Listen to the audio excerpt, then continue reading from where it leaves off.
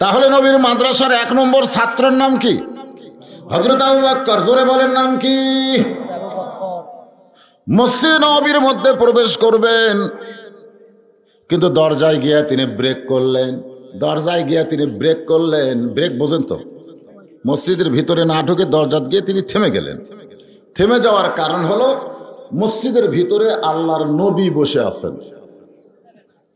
শুধু নবী বসে নাই, নবীর দুই উরাতের ওপরে নবীর দুইটা নাতি বসে খেলা করতেছে। নবীর দুইটা উরাতে দুইটা নাতি বসে, ছোট নাতি দাড়ি টান দেয় আর বড় নাতি টুপি খুলে ফেলে দেয়। আল্লাহ তাকায় দেখে, দুইটা নাতি চরম বিরক্ত করার পরেও নবী বিরক্ত না হইয়া বরং দুইজনকে বুকের মধ্যে নিয়ে আদর করে চুমু খায়। আপনারা বলেন তো, দাড়ি টানতেছে, টুপি খুলে ফেলা দিচ্ছে রে কি? বিরক্ত করতেছে না? কিন্তু নবী বিরক্ত না হয়ে ওই দুটাকে আবার বুকের মধ্যে নিয়ে চুমু খায়। আউ করে আল্লাহ আসমানের দিকে তাকালেন। মানুষ যখন কোনো কিছু বুঝতে চাবে, জানতে চাবে, তখন কোনো দিকে তাকানো যাবে না। একদিকে তাকান লাগবে, সেটা হলো আসমানের দিকে। জোরে কোন কোন দিকে? কেন? কি জন্য আসমানের দিকে তাকাবেন? আসমানের দিকে তাকানোর কথা সুরা মুলকের মধ্যে আসে না আপনার সুরা মুল্ক পড়ছেন? সুম্মার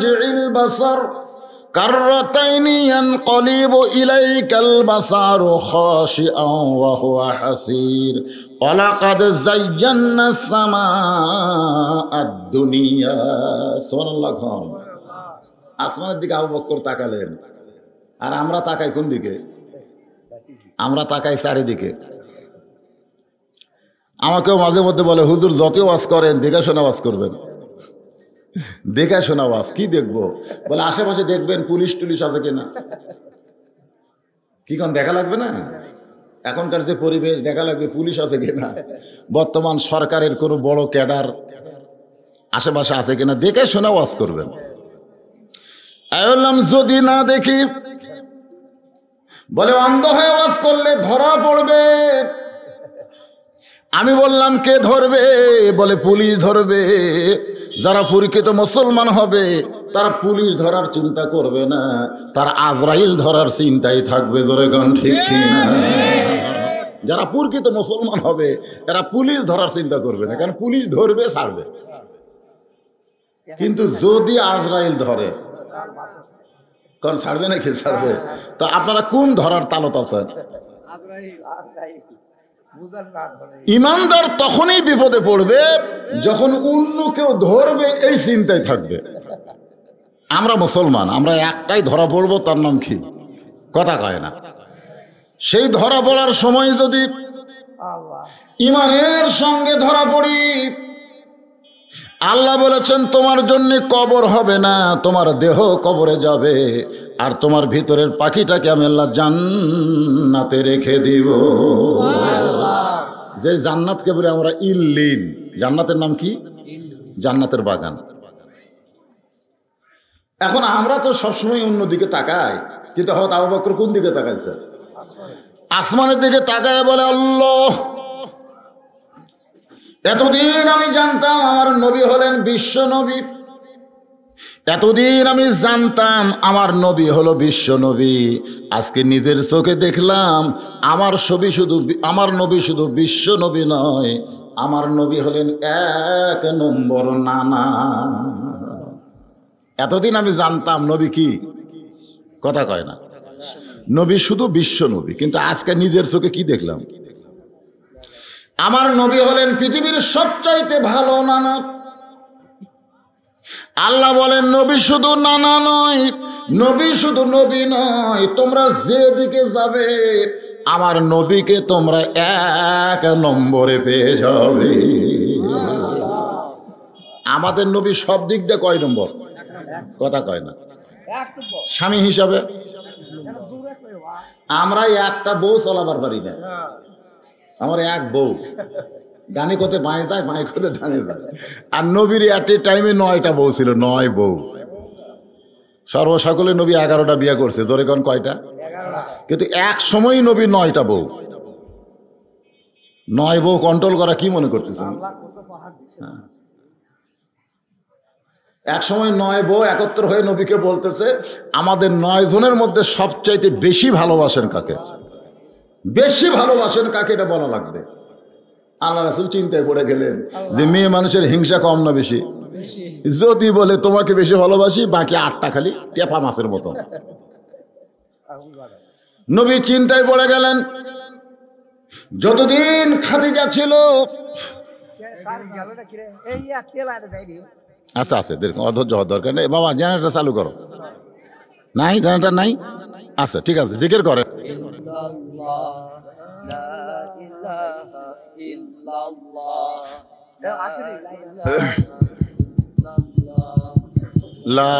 ইলাহা এ যারা দরজায় দাঁড়িয়ে আছেন ভিতরে বসেন। মাহফিল কমিটির লোকজনকে বলব ভাইজান আপনারা কিছু লোক দরজায় থাকেন লোক আসা মাত্রই ভিতরে ঢুকে দেন। যদি ভিতরে না ঢোকে বলেন দরজায় থাকা যাবে না। কারণ দরজা কি থাকার জন্যে না ঢোকার জন্যে আপনার বলেন তো দরজার যদি মানুষ দাঁড়িয়ে থাকে ঢুকবে কেন রাস্তা চলাচলের জন্যে, দরজা ঢোকার জন্যে আর কোরআনের মাহফিল বসার জন্যে। জোরে কথা ঠিক যারা রাস্তায় চলবে দাঁড়িয়ে থেকে পারবে না, চলাই লাগবে। চলো, রাস্তা কি? হাঁটো। আর দরজাত কি? ঢোকো। আর কোরআনের মাহফিল কি? বসো। জোরে কথা ঠিক এই তিনটা জিনিস ঠিক রাখবেন। আর আপনারা যারা বসে আছেন, আপনারা মনে করেন না যে কয়লো আমার ওয়াজ চলবে কম পক্ষে চারটা পর্যন্ত। কয়টা পর্যন্ত? চারটা পর্যন্ত চলবি, কেবল বাঁচতেছে সোয়া দুই। আরও পনে দুই ঘণ্টা লোক এইভাবে আসবে। তো আসার কারণে ওরা যেন এসে বিশৃঙ্খলা না করতে পারে, এই জন্য আপনারা আল্লাহর হস্তে নিরাপদ দূরত্ব করোনা ভাইরাসের জন্য রাখার দরকার নাই, বরং আল্লাহ নবীর সন্ন্যত হিসাবে জমে জমে বসা চাই। কথাটা বুঝলেন? হ্যাঁ কারণ যতক্ষণ মাহফিলে থাকবেন কোনো করোনা চিন্তাই করবেন না, কারণ এটা রহমত। সোনানো বলেন। এই জন্য আপনি একটু জমি নিয়ে বসবেন। আর যারা আসবেন আসার পরে পিছনে বসবে অসুবিধা নেই। যেই কথা বলতেছিলাম যতদিন মা খাদিজা ছিলেন আল্লাহ নবীর দ্বিতীয় কোনো বউ ছিল না। যার কারণে খাদিজা কোনোদিনও বলে নাই আপনি কাকে সবচাইতে বেশি ভালোবাসেন? এক বউ হলে বলা লাগে কিন্তু দুটা হলে যারা দুই বিয়ে করছেন আপনি কয়টা করছেন? এত বয়স হয়ে গেছে, একটাতে আছেন। যারা দুই বিয়ে করছে, এখানে যদি কেউ থাকে, দুই বউওয়ালা স্বামী, তাহলে তাই বুঝতেছে অবস্থাটা কি। আল্লাহর নবী বললেন, তোমাদের নয় জনের মধ্যে কাকে বেশি ভালোবাসি? এটা আজকে বলব না, আগামীকাল বলব। বউগুলো সবাই চলে গেলেন নিজের নিজের ঘরে। রাতটা যখন গভীর হইয়া যায় নবী চিন্তায় পড়ে গেলেন, আগামীকাল দিনের বেলা বলতে হবে, কি বলব? এই চিন্তা যখন করতেছেন, মায়ান্তিকু আনিল হাওয়া ইন হুয়া ইল্লা।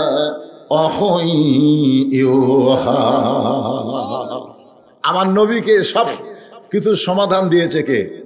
আরও ধরে বলেন। এই জন্য আল্লাহ বলেছেন, নবী নিজের থেকে নফসের তাড়নায় কোনো কিছুই করে নাই। নবী যা কিছু করেছেন জীবনে সব কিছু কার ইচ্ছায়? এক টোপলা খুরমা খেজুর নিয়া ওম্মাহাতুল মমিনিন মা আয়সার ঘরের দরজায় গেলেন।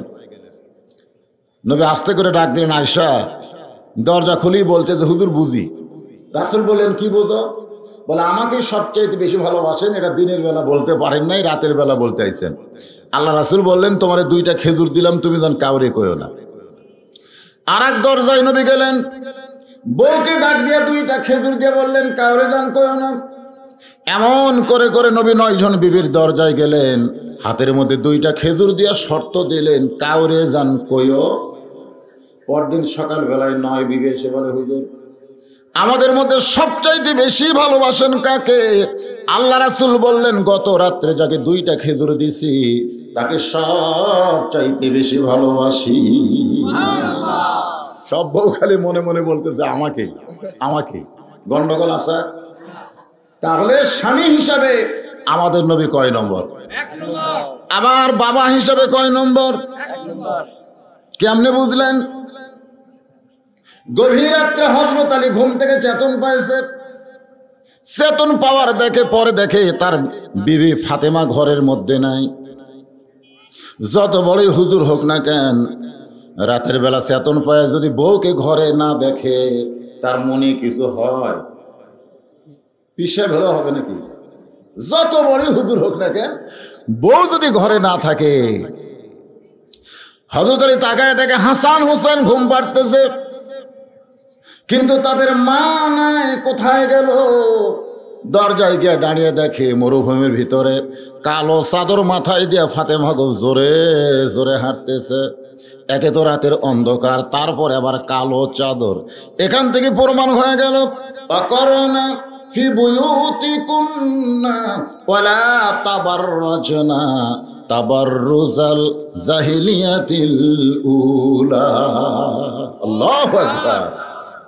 মেয়েরা যখন ঘরে থাকবে মেয়েদের জন্যই তো ঘর নাকি কর?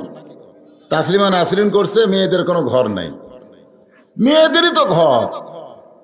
কারণ আদম আলাইসাল্লাম আর মা হাওয়ার দেখা যখন হলো আরাফার ময়দানে। ধরে কোন কোথায়? আপনারা জানেন না, সাড়ে তিনশো বছর পরে যখন আদম নবীর সাথে মা হাওয়ার মিলন হচ্ছে, মিলনের জন্যই তো আরাফা। আরাফা মানে কি? আরাফা মানে মিলন। তো এখন সাক্ষাৎ হবে আদম হাওয়াকে দেখে এত বছর পরে বউকে দেখলে স্বামীর কি হয়? বউ কিন্তু, মেয়ে মানুষ কিন্তু খুব একটা লড়ে না, পুরুষ মানুষ লাফায়। ধরে কোন কথা ঠিক কিনা? সুন্দর নারী দেখলে পরে আমার কি? মনটা দেওয়ানা হয় ওলে ওলে। মানে কি, পুরুষেরাই তো। মেয়েরা তো বোঝেন না, খালি ওরা খালি ঘুরবে আর পুরুষরা খালি লাপাবে এই লাপানটা শুরু হচ্ছে আমাদের বাপের কাছ থেকে। ধরে কোন কার কাছ থেকে? এত বছর পর হাওয়াকে দেখার পরে আদম নবী যখন দুইখানা হাত বাড়াইলেন, ডাক দিলেন, হাওয়া। সঙ্গে সঙ্গে মা হাওয়া দৌড়ে আসতেছে। আদম আর হাওয়ার মাঝখানে তেরো গজ, ধরে কন কয় গজ? তেরো গজ মানে ছাব্বিশ হাত। এমন সময় আসমানে কালো মেঘ করল, মেঘের মধ্যে ঝড় শুরু হয়ে গেল। এত জোরে বিদ্যুৎ চমকায়, আদম একদিকে হাওয়া, একদিকে দৌড়াই আর বুকের মধ্যে নেওয়ার চিন্তা নাই। দুইজন যখন দুই দিকে দৌড়াই আদম চিল্লায় বলে, আল্লাহ, এত বছর পরে হাওয়াকে আমি বুকের মধ্যে নিব আর আসমানে ম্যাগের মধ্যে গজব শুরু হলো। আল্লাহ কয়, আদম। আল্লাহ ডাক দেবেন আদম, ফাঁকা জায়গায় ফাঁকা জায়গায় কোনো পুরুষ মানুষ যদি মেয়েকে বুকের মধ্যে নেয়, ওই জায়গায় আল্লাহর গজব শুরু হয়ে যায়। তোমার বউকে তুমি যদি আদর করতে চাও, তো ফাঁকা জায়গা চলবে না, ফাঁকা জায়গা। ফাঁকা বোঝেন না? আপনারা রাস্তাঘাটে নিজের বউকে আদর করেন? এ কথা কর না কেন? আদম বলে, আল্লাহ, তাহলে কি করব? আল্লাহ বলতেছে, তোমার জন্য নয়, সর্বপ্রথম হাওয়ার জন্য একটা ঘর বানাও। এখান থেকে প্রমাণ হলো, মেয়েরা ঘরের মধ্যে থাকতে হবে। জোরে কন কার ভিতরে? যদি কোনো প্রয়োজনে ঘরের বাহির হয়, হতে পারে। মেয়েদের প্রয়োজন আছে না নাই? যেরকম আজকে কোরআনের মাহফিল, মেয়েরাও হয়তো কোরআনের মাহফিল আসবে। ওদের জন্য বসার ব্যবস্থা আছে না নাই? কীভাবে আসবে? এই যে রাস্তাঘাটে যখন মেয়েরা আসতেছে, অন্তত কোরআনের মাহফিল পর্যন্ত আসতে গেলে তাদেরকে হেজাব ব্যবহার করতে হবে, পর্দা করতে হবে। এ কথা কার? হজরত তাকায় তাকে ফাতেমা কালো চাদর মাথায় দিয়ে খুব জোরে জোরে হাঁটতেছে। আলীর সন্দেহ হয়ে গেল, আমার বউটা তাহলে যাবে কোথায়? নিরাপদ দূরত্ব বজায় রেখে পিছনে পিছনে হাঁটতেছে। আল্লাহর নবী যেই ঘরে ঘুমায়, সেই ঘরের জানলার পাশে ফাতেমা দাঁড়ায়া গেছে। এখন বলেন তো, নবী কেমন বাবা হ্যাঁ?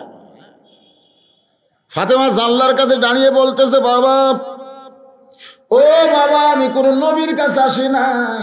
আমি একজন দুঃখিনী মেয়ে, তার বাবার ঘরের জানলায়। ফাতেমা এখানে মনে করে দিচ্ছে, আমার বাবা শুধু নবী না, আমার বাবা হলো একজন বাবা ধরে কোন ঠিক কি না? হত আলী একটু দূরে দাঁড়িয়ে দেখে যে কি হয়। কিছুক্ষণ পরে আল্লাহ নবী ঘরের দরজা খুলে দিলেন। যেই দরজা খুলে দিয়েছে ফাতেমা ঘরের মধ্যে ঢোকার সঙ্গে সঙ্গে আলী দৌড়ে গিয়া জানলার কাছে কানটা লাগাইছে। দেখি বাপ বেটির মধ্যে কি গল্প হয়। আল্লাহ নবী বললেন, ফাতেমা, তুই একা একা কেন ঘরের মধ্যে ঢুকলি মা? আলীকেও ঘরের মধ্যে নিয়ে আয়। ফাতেমা বলতেছে, বাবা, আমি যখন চেতন পাইছি তখন আপনার জামাই আর আপনার নাতি দুইটা ঘুম পাড়তেছে। বাপ বেটারা যখন ঘুমের মধ্যে, আমি তখন চুপি চুপি আপনার কাছে আইছি, বাবা। মেহরবানি করে আপনি একটু ঘরে বাতি জ্বলান, একটু ঘরে বাতি জ্বলান। রাসুল বলে, ফাতেমা, কি বলবি বল? বাতি জ্বলানো লাগবে না। ফাতেমা বলতেছে, এতদিন বলেছি, কাম হয় নাই। আজকে একটু আপনাকে দেখাবার চাই। যেই মাত্র নবী ঘরে বাতি জ্বলাইছে, সঙ্গে সঙ্গে ফাতেমা দুইটা হাত নবীর সঙ্গে বাড়ায় দেয়। নবী কিন্তু নবী হিসাবে না, বাবা হিসাবে দেখে মেয়ের হাতের তালু আছে কিন্তু চামড়া নাই। দুইটা হাত গোস্তের টুকরার মতন, রক্তের মতন লাল দেখায়। এখন বলে, নবী কিন্তু আর নবী নাই। নবী কেমন বাবা ছিলেন, ঘরের কোনায় গিয়ে বলতেছে মাবুদ আমি যদি শুধু বাবা নবী হইতাম তোমারে কিছুই বলতাম না, কিন্তু আমি একজন বাবা। এ বাবা হওয়ার কারণে আমার মেয়ের হাতটা দেখে আমি বড় কষ্ট পাই। ও আল্লাহ, তুমি কিন্তু বাপ না, কারণ লাম ওয়ালাম ইউলাদ ওয়ালাম ইয়াকুল্লাহু কুফুয়ান আহাদ। আমার আল্লাহর কোনো সন্তান আছে? যার এখন আছে? আল্লাহর কি বাপ মা আছে? নবী বলতেছেন আমি একজন বাবা হিসাবে নিজের মেয়ের এরকম অবস্থা দেখে আমি বড় কষ্ট পাই। এখান থেকে প্রমাণ হয়ে গেল, আমাদের নবী শুধু নবী ছিলেন না, আমাদের নবী হলেন পৃথিবীর এক নম্বর বাবা। আচ্ছা আবার বলেন তো, রাখাল হিসাবে কয় নম্বর? রাখাল। যে গরু, ছাগল চড়ায় না রাখাল? আমরা তো গরু, ছাগল চড়াতে গিয়ে আমাদের গরু মানুষের ধান খায়। খায় না, তারা গরু চড়ায় বোঝেন। ধানত লাগলে ওরা চারিদিকে তাকায়। দেখি তো জমিওয়ালা দেখতেছে কিনা। জমিওয়ালা নাই, দুই চার খাক অসুবিধা হয়। কিন্তু একবার যদি উপর দিকে তাকাতো, যে জমিওয়ালা না দেখুক রে, আল্লাহ দেখতেছে, জোরে খান কথা ঠিক কিনা? তাহলে রাখালিটা ঠিক মতো হতো। আমার নবী এমন একজন রাখাল ছিলেন যার রাখালি দেখার কারণে হজরত মা খাতিজা পৃথিবীর সবচাইতে ধনবতী রমণী হওয়ার পরেও ওই রাখালকে নিজের স্বামী বানাইলেন। সরাল বলেন। আবার যখন মক্কায় ছিলেন, পিটন খাওয়ার দিক আমার নবী এক নম্বর ছিলেন, ঠিক কিনা বলেন? তাইফের ময়দানে এত পাথর মারছে, নবী কিছুই বলে নাই। সেই নবী যখন হিজরত করে মদিনায় গেলেন, বদরের জেহাদের দিনে নবী মাতার টুপি খুললেন, নবী শরীরের জুব্বা খুললেন, মাতার টুপি খুললেন, পরনের জুব্বা খুললেন, নবী মাথায় হেলমেট দিলেন, পরনে সৈনিকের পোশাক পরলেন, আলীকে বললেন, আমার কোমরের বেলটা একটু টাইট করে দাও। সবাই নবীর দিকে তাকায় দেখে কি দেখতেছি? নবীর কোমরের বেলটা যখন টাইট হয়ে গেল, আবু বলে রাসুল আল্লাহ আপনি তো আল্লাহর নবী। রাসুল বললেন, আমার চেহারা দেখে কি মনে হয়? আমি শুধু আল্লাহর নবী না, আজকে বাতিলের বিরুদ্ধে আমি হলাম হকের পক্ষে আল্লাহর সেনাপতি। খালি খালি সারা জীবন মাথায় টুপি দিয়ে থাকলে হবে না হাব্বা জুব্বা করলে হবে না। মাঝে মধ্যে বাতিলের বিরুদ্ধে লড়াই করার জন্য টুপিও খোলা রাখতে পারে ধরে কথা? ঠিক আপনারা মনে করছেন খালি সাত হাত পাগড়ি দিয়া শূন্যত আদায় হয়? অনেক সময় পাগড়ি মাথা থেকে খুলে মাজার বান্দা লাগবে ধরে ঠিক আজকে যাত্রার বন মাফে কোনো অনুমতি দেওয়া লাগে না। আজকে গান বাজনা ধাপের হাটের কোনো টেনশন নাই। আর কোরআনের মাহফিল করতে গেলে অনুমতি লাগে। অনুমতি না দিলে পাগড়ি খুলে মাজায় বান্দা লাগবে কোন কথা ঠিক? নব্বই ভাগ মুসলমানের দেশে তোমরা ইয়ার কি মারো? আমি তো বলি যে কোনো অনুমতির দরকার নাই। হ্যাঁ? কিসের অনুমতি রে? নামাজের জন্য কি এইরকম যদি আপনার অনুমতি নেন না আর পাঁচ বছর পরে আজান দেওয়ার অনুমতি দেওয়া লাগবে? যে হুজুর ওসিক দেওয়া লাগবে। অসি সাহেব আমাকে মসজিদে কি আজান দিব? অনুমতি দেন। তখন ওসি বলবে তোমার এলাকার কি হিন্দু আছে? আছে। ওদের ক্ষতি হবে দরকার নাই। যে অবস্থা চলতেছে, হয়তো নামাজ পড়ার জন্য অনুমতি নেওয়া লাগবে। জোরে কোন কথা ঠিক কি না? কি অবস্থা শুরু হয়েছিল কয়েকদিন আগে? কয় পাঁচ অক্ট পাঁচজন আর তারাবি বারো জন হায় হায় হায় হায়, কি অবস্থা? আমার মাদ্রাসার মসজিদে একটু লোক বেশি হয় রাস্তার ধারে। দুই ছাত্র খুঁজি দরজাত গেটে। যে পুলিশের গাড়ি দেখলি খালি বলবে, আইছে। একদিন পুলিশের গাড়ি আইসে ওরা দুই বাচ্চা চিল্লা উঠছে ইমাম সাহেব পর্যন্ত নামাজ ছেড়ে দেব। কি ভয়? আমরা যদি বলি কোন করোনা টরোনা বুঝি না পাঁচ অক্টর আমার জামাতে পড়ব ধরে কোন কথা ঠিক কি না? এখনও কয় আর লোক আটেনি সেটা আগে কচিতে হবে সেটা আমি আগে কই নাই বারবার এটা কোয়া যাবে তাই। হ্যাঁ এই সাইডে ফাঁকা আছে, বাবা। একটু চাপো তো, সোনার চানের একটু চাপেন। আর যারা আসতেছেন, তারা বসেন। আর যারা বসে আছেন সামনে দিকে একটু ঝুঁকা জিকির করেন। এক- এক ধাপ, একটা পেলা মারবেন আর জিকির করবেন, লা ইলাহা ইল্লাল্লাহ, লা ইলাহা ইল্লাল্লাহ, লা ইলাহা ইল্লাল্লাহ, লা ইলাহা ইল্লাল্লাহ, লা ইলাহা ইল্লাল্লাহ, লা ইলাহা ইল্লাল্লাহ, লা ইলাহা লা ইলাহা ইল্লাল্লাহ মুহাম্মাদুর রাসূলুল্লাহ সাল্লাল্লাহু আলাইহি ওয়াসাল্লাম। কি বলতেছিলাম? মনে আছে না ভুলে গেছেন? আমাদের নবী শুধু নবী নয়, তিনি বাতিলের বিরুদ্ধে হকের পক্ষে কার সেনাপতি? কথা কয় না।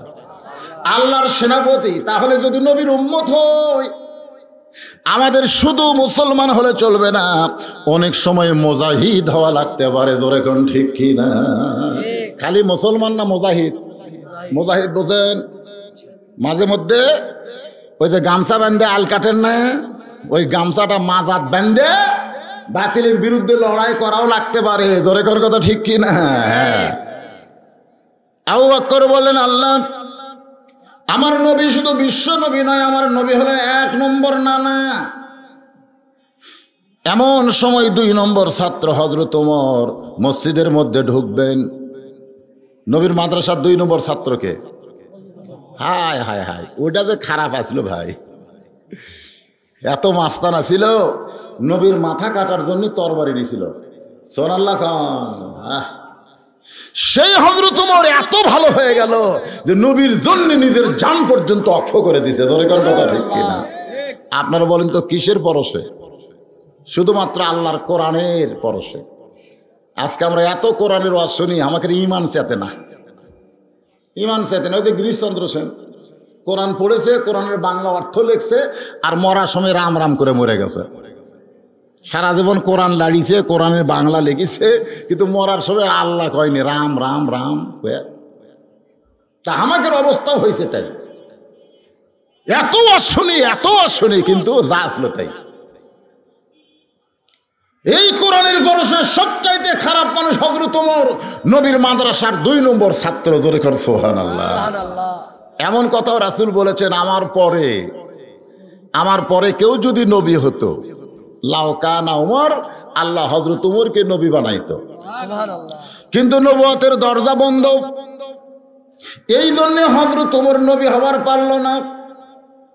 আল্লাহ নবী বলেছেন দুনিয়াতে হজরত উমর নবী হওয়ার না পারলে কি হবে হাসরের ময়দানে? আমি নবীর কথাকে আল্লাহ দাম দিয়া ওমরকে নবীদের কাতারে দাঁড় করায়া দিবে।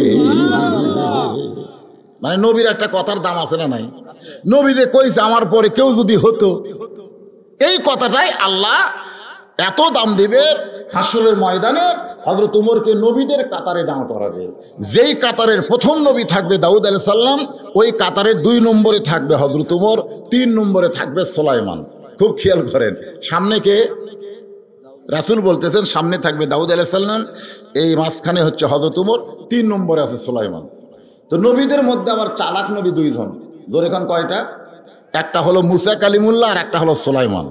এই দুটা কিন্তু খুব চালাক। মুসা নবী চালাকি করেছে আল্লাহর সাথে। জোরেখান কার সাথে? আর সোলাইমান নবী চালাকি করেছে তার বাপের সাথে। একটা হলো বাপের সাথে, একটা হলো আল্লাহর সাথে। এমনও চালাকি মুসানবী করেছে। একদিন তুর পর্বতে যায় বলতেছে, আল্লাহ, তোমার যা আছে, আমার যা আছে তোমার তা নাই। কি চালাক? আল্লাহ, আমি মুসার যা আছে তোমার তা নাই। আল্লাহ বলে, মুসা, তোর কিছুই নাই, সব আমার। মুসা বলতেছে, আল্লাহ, চিন্তা করে দেখো। আমার যা আছে, তোমার তা নাই। আল্লাহ বলে, মুসা, তোমার এমন কি আছে যেইটা আমি আল্লাহর নাই? মুসা বলতেছে, আল্লাহ, আমার মৃত্যু আছে, কিন্তু তোমার মৃত্যু নাই। আল্লাহ কয়, ঠিকই তো তাই না মুসা বলতেছে, আল্লাহ তুমি যতই চেষ্টা করো, তুমি মারতে পারবা। কিন্তু মরতে পারবা না, কারণ মরার যে কি মজা, এটা আমি পাবো, তুমি পাবা না। আল্লাহ কয়, মুসা, মরার আবার মজা কি? মুসা বলতেছে, মরে দেখো। কারণ আমরা কিন্তু কোনো ফেরেস্তা দেখতে পাবো না, কিন্তু মরার সময় একটা ফেরেস্তার সাথে আমাকে দেখা হবে। দেখবার না চাইলে ওই ফেরেস্তা আসবেই। ঠিক কীরকম সে ফেরেস্তার নাম কি? আসবে না? আপনাদের কি মনে হয়, কবে? কবে আসবে? সিনা টান করে বাড়ির থেকে আছেন বউকে কয়ে এসেন আসরের না, পর্যন্ত অশুনে বাড়িতে আসতেছি। বউ করছে, ঠিক আছে, বাড়িতে আসার পরে কিন্তু আবার দু সেন্স দেওয়া লাগবে। কা আসতেছি রে? আজরাল কয়, আল্লাহ, এত বড় হিম্মতি পালো থেকে হ্যাঁ? ওই যে কয়, আসতেছি। আসতেছি কওয়া, মুসলমানের জায়েজ নাই। মুসলমানের কথা বলতে হবে, যাচ্ছি। প্রত্যেকটা ধাপে ধাপে আমি মৃত্যুর দিকে যাচ্ছি। জোরে কথা ঠিক কিনা? প্রত্যেকটা ধাপে ধাপে আমি যাচ্ছি। আমি আসতেছি না, আমি যাচ্ছি। আপনারা বলেন তো, আসতেছি না যাচ্ছি? সবসময় বলবেন যাচ্ছি। ফিরে আসার কোনো গ্যারান্টি? যে কোনো সময় আজরাইল, আমার আপনার সামনে আসতে পারে। একটা মানুষের জীবন পরিবর্তন করার জন্য একটা বিশ্বাস যথেষ্ট। যে কোনো সময় আমার মৃত্যু হবে, যে কোনো সময় মৃত্যু হবে। আল্লাহ বলে, মুসা, মানুষ মরবার চায় না, আর মৃত্যু তোমার কাছে মজা হওয়ার কারণ কি? মুসা বলতেছে, কারণ হলো তিনটা। জোরে কন, কয়টা? আল্লাহ বলে, মুসা, সেই কারণগুলো বলো। মুসা বলতে চাল্লাম মৃত্যুকে পছন্দ করার মৃত্যু মজা হওয়ার এক নম্বর কারণ হলো, আমি না মরলে কোনোদিন জান্নাতে যাইতে পারব না। তুমি এত সুন্দর জান্নাত যে আমার জন্য বানায় রাখছো। তুমি বলো তো, এটা জেতা অবস্থায় দিবা না মরার পরে দিবা? আল্লাহ কয়, মরার পরে দেব। মুসা বলতেছে, ওই জান্নাতের জন্যে আমাকে মরতেই হবে। যারা প্রকৃত মুসলমান তারা কবরের জন্য মরবে না জান্নাতের জন্য? এই জন্য আমরা বলব জান্নাত যদি চাই আপনার জবান খুলে বলবেন মরতে চাই। বলতে পারবেন না ভাইজান? যদি আমরা জান্নাত চাই তাহলে কি চাই? মরতে চাই। আরও জোরে। মরতে চাই। জোরসে বলুন। মরতে চাই। খালি মরবার সাইনা দেখে বাতিলের সাথে আপোষ করে বেঁচে আছে। জোরে খালি মরবি না। দরকার হলে ভারতের দালাল হবি। আপনারা মুসলমান, কার দালাল হবেন ভারতের মান তাসাব্বাবি কৌমিন ফাহুয়া মিনহুম। যে জাতকে যে অনুসরণ করবে, ওই জাতের সাথে আর হাসর হবে, ওই জাতের সাথে। হিন্দু আমাদের সঙ্গে থাকবে, কিন্তু ওদের সাথে লাকুম দিন হুকুম এ কথা কয় না, লাকুম দিন হুকুম তোরকে পূজা তোরা কর, আমাকে নামাজ আমরা পড়ি। তোর এখন কথা ঠিক কিনা? আমাদের মধ্যে কোনো গন্ডগোল নাই। আছে ভাই, কোনো গন্ডগোল আছে? কোনো গন্ডগোল নাই। কিন্তু আমাদের মসজিদে ওরা যদি না আসে, ওদের পূজা আমরা যাব। যাব। আমাদের কুরবানিতে ওরা যদি না আসে, ওদের দুর্গা পূজায় আমরা যাব না, কিন্তু হিন্দুরা কোনোদিন মুসলমানের মসজিদেও আসে না, মুসলমানের ঈদে তো আসে না। কিন্তু মুসলমান এত বেহা, ওদের পূজা দেখবার এই বেহা জাত হলো বাংলাদেশের মুসলমান, এরা ভারতের দালাল। ধর এখন কার দালাল? কার দালাল হবেন ভারতে? আজকে বাংলাদেশে একটা কথা আছে, আমাকে কয় পাকিস্তানের দালাল? আর আমরা ওদের কয় ভারতের দালাল। আসলে কারও দালালি করা চলবে না। একমাত্র মোহাম্মদ সাল্লামের উম্মত হতে হবে। জোরেগন কথা ঠিক কি না? একটু মনোযোগ দিয়ে শোনেন। ওমার ফারুক দুই নম্বর ছাত্র। জোরেগান কয় নম্বর? মসজিদের দরজা এসে বলতে, যাও বক্কর ভাই, ভিতরে না ঢুকে দরজাত কেন দাঁড়িয়ে আছেন জানতে চাই। আবু বক্কর ওমর, একটাবার ভিতরের দিকে তাকাও। কি জন্যে দরজায় দাঁড়িয়ে আছি? যদি তুমি জানবার চাও, তাহলে ভিতরের দিকে তাকাও। উমর ফারুক তাকায় দেখে, হোসাইন নবীর দাড়ি ধরে টানতেছে আর হাসান মাথার টুপি খুলে ফেলে দিচ্ছে। হজরত তোমার আসমানের দিকে তাকালেন, আবু বক্কর তাকাইছেন কোন দিকে? মনে আছে না বলে গেছেন আসমানের দিকে তাকাইছে ওমর ফারুক আসমানের দিকে তাকাই বললেন, এই দুইটা সন্তান বড় বেদব হয়ে গেছে। এ হাসান হোসানকে লক্ষ্য করে বলতেছে, এই দুইটা সন্তান বড় বেদব হয়ে গেছে, এরা সব সময় নবীকে কষ্ট দেয়। আমাদের নবী যে একজন নানা, সেইটা উমরের মনেই নাই। আমাদের নবী কি শুধু নবী? এই জন্য হজরত উমর বলতেছে এই দুইটা সন্তান বড় বেদব হয়ে গেছে। এরা সব সময় নবীকে কষ্ট দেয়। যেই বলছে বেদব, এই কথাটাই এক নম্বর ছাত্র আবু বক্করের অন্তরে বড় আঘাত লাগছে। আবু বক্করা দিয়াল্লাহ এভাবে সাদ ও তাঙ্গুলি তুলে বলতেছে, ওমর, যেই কথা তুমি একবার বলেছ, এই কথা আমার সামনে আর দ্বিতীয়বার তুমি বলতে পারবে না। উমর ফারুক চমকে গেছে, কারণ নরম মানুষ, নরম বোঝেন না আপনারা? আল্লাহ রাসুল বলেছেন আমার চারজন সাহাবি এক নম্বর। চারজন সাহাবি এক নম্বর। সাহাবিরা বললেন চারজন কেমনি এক নম্বর হয়? চারজন হবে চার নম্বর। এক দুই তিন চার। রাসুল বললেন নরমে এক নম্বর আবু গরমে এক নম্বর ওমর। সম্পদে এক নম্বর ওসমান। আর জ্ঞানী এক নম্বর আলী। তাহলে এক একজন কয় নম্বর। এক এক বিষয়ে এক নম্বর। আমাদের আওয়ামী লীগ কয় নম্বর? সরকারি দল হিসাবে ক্ষমতায় যেভাবেই হোক থাকা লাগবে, এ বিষয়ে এক নম্বর। আর বিএনপি যতই বড় দল হোক না কেন, কোনো আন্দোলন না করার বিষয়ে কয় নম্বর? যেটি যায় সেটি বিএনপি কিন্তু আন্দোলন নাই। নেত্রী কোন জায়গার থোসে আমি খুঁজে পাচ্ছি না, তোর কথা ঠিক না আর বিরোধী দল হিসেবে সবচাইতে বড় সিটারের দল হলো জাতীয় পার্টি, কয় নম্বর? মানে কোনো মতে নৌকালিয়াই দাঁড়ায় আর কয় আমরা জাতীয় পার্টি। এত বড় সিটারের দিক দিয়ে এক নম্বর আর কেউ নেই। বর্তমানে বাংলাদেশে চারটা দল আছে ওরাও এক এক দিক দিয়ে এক এক নম্বর ধরে কোন কথা ঠিক কিনা? আছে না না? হ্যাঁ। ভাইজান আল্লাহর বান্দারা একটু মনোযোগ দিয়ে শুনবেন। তাহলে সবচাইতে নরম মানুষ হজদাও বক্কর। এভাবে আঙ্গুল তুলে বলতেছ মোর যেই কথা একবার বলেছ এই কথার তুমি দ্বিতীয়বার বলতে পারবা না। ওমর ফারুক কয়েক ধাপ পিছনে গিয়ে বলতেছে, আমি এমন কি বলেছি? আবু বক্কর বলে, ওমর, তুমি যে দুইটা সন্তানকে বেদব বললে, তুমি যে বললে এরা দুইজন বেদব হয়ে গেছে, এই দুইজনকে তুমি চিনো? ওমর ফারুক যদি বলতেন, এই দুইজনকে তুমি জানো, তাহলে উত্তর দেওয়া সহজ হতো।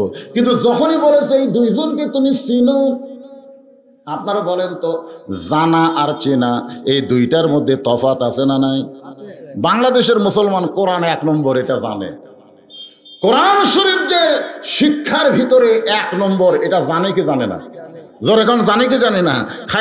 মান তাআল্লামাল কোরআনা ও আল্লামা। আল্লাহ রাসূল বলেছেন, ওই ব্যক্তি হলো সবচাইতে সম্মানিত এক নম্বর ব্যক্তি যে কোরআন শিখেছে এবং অপরকে শিক্ষা দেয়।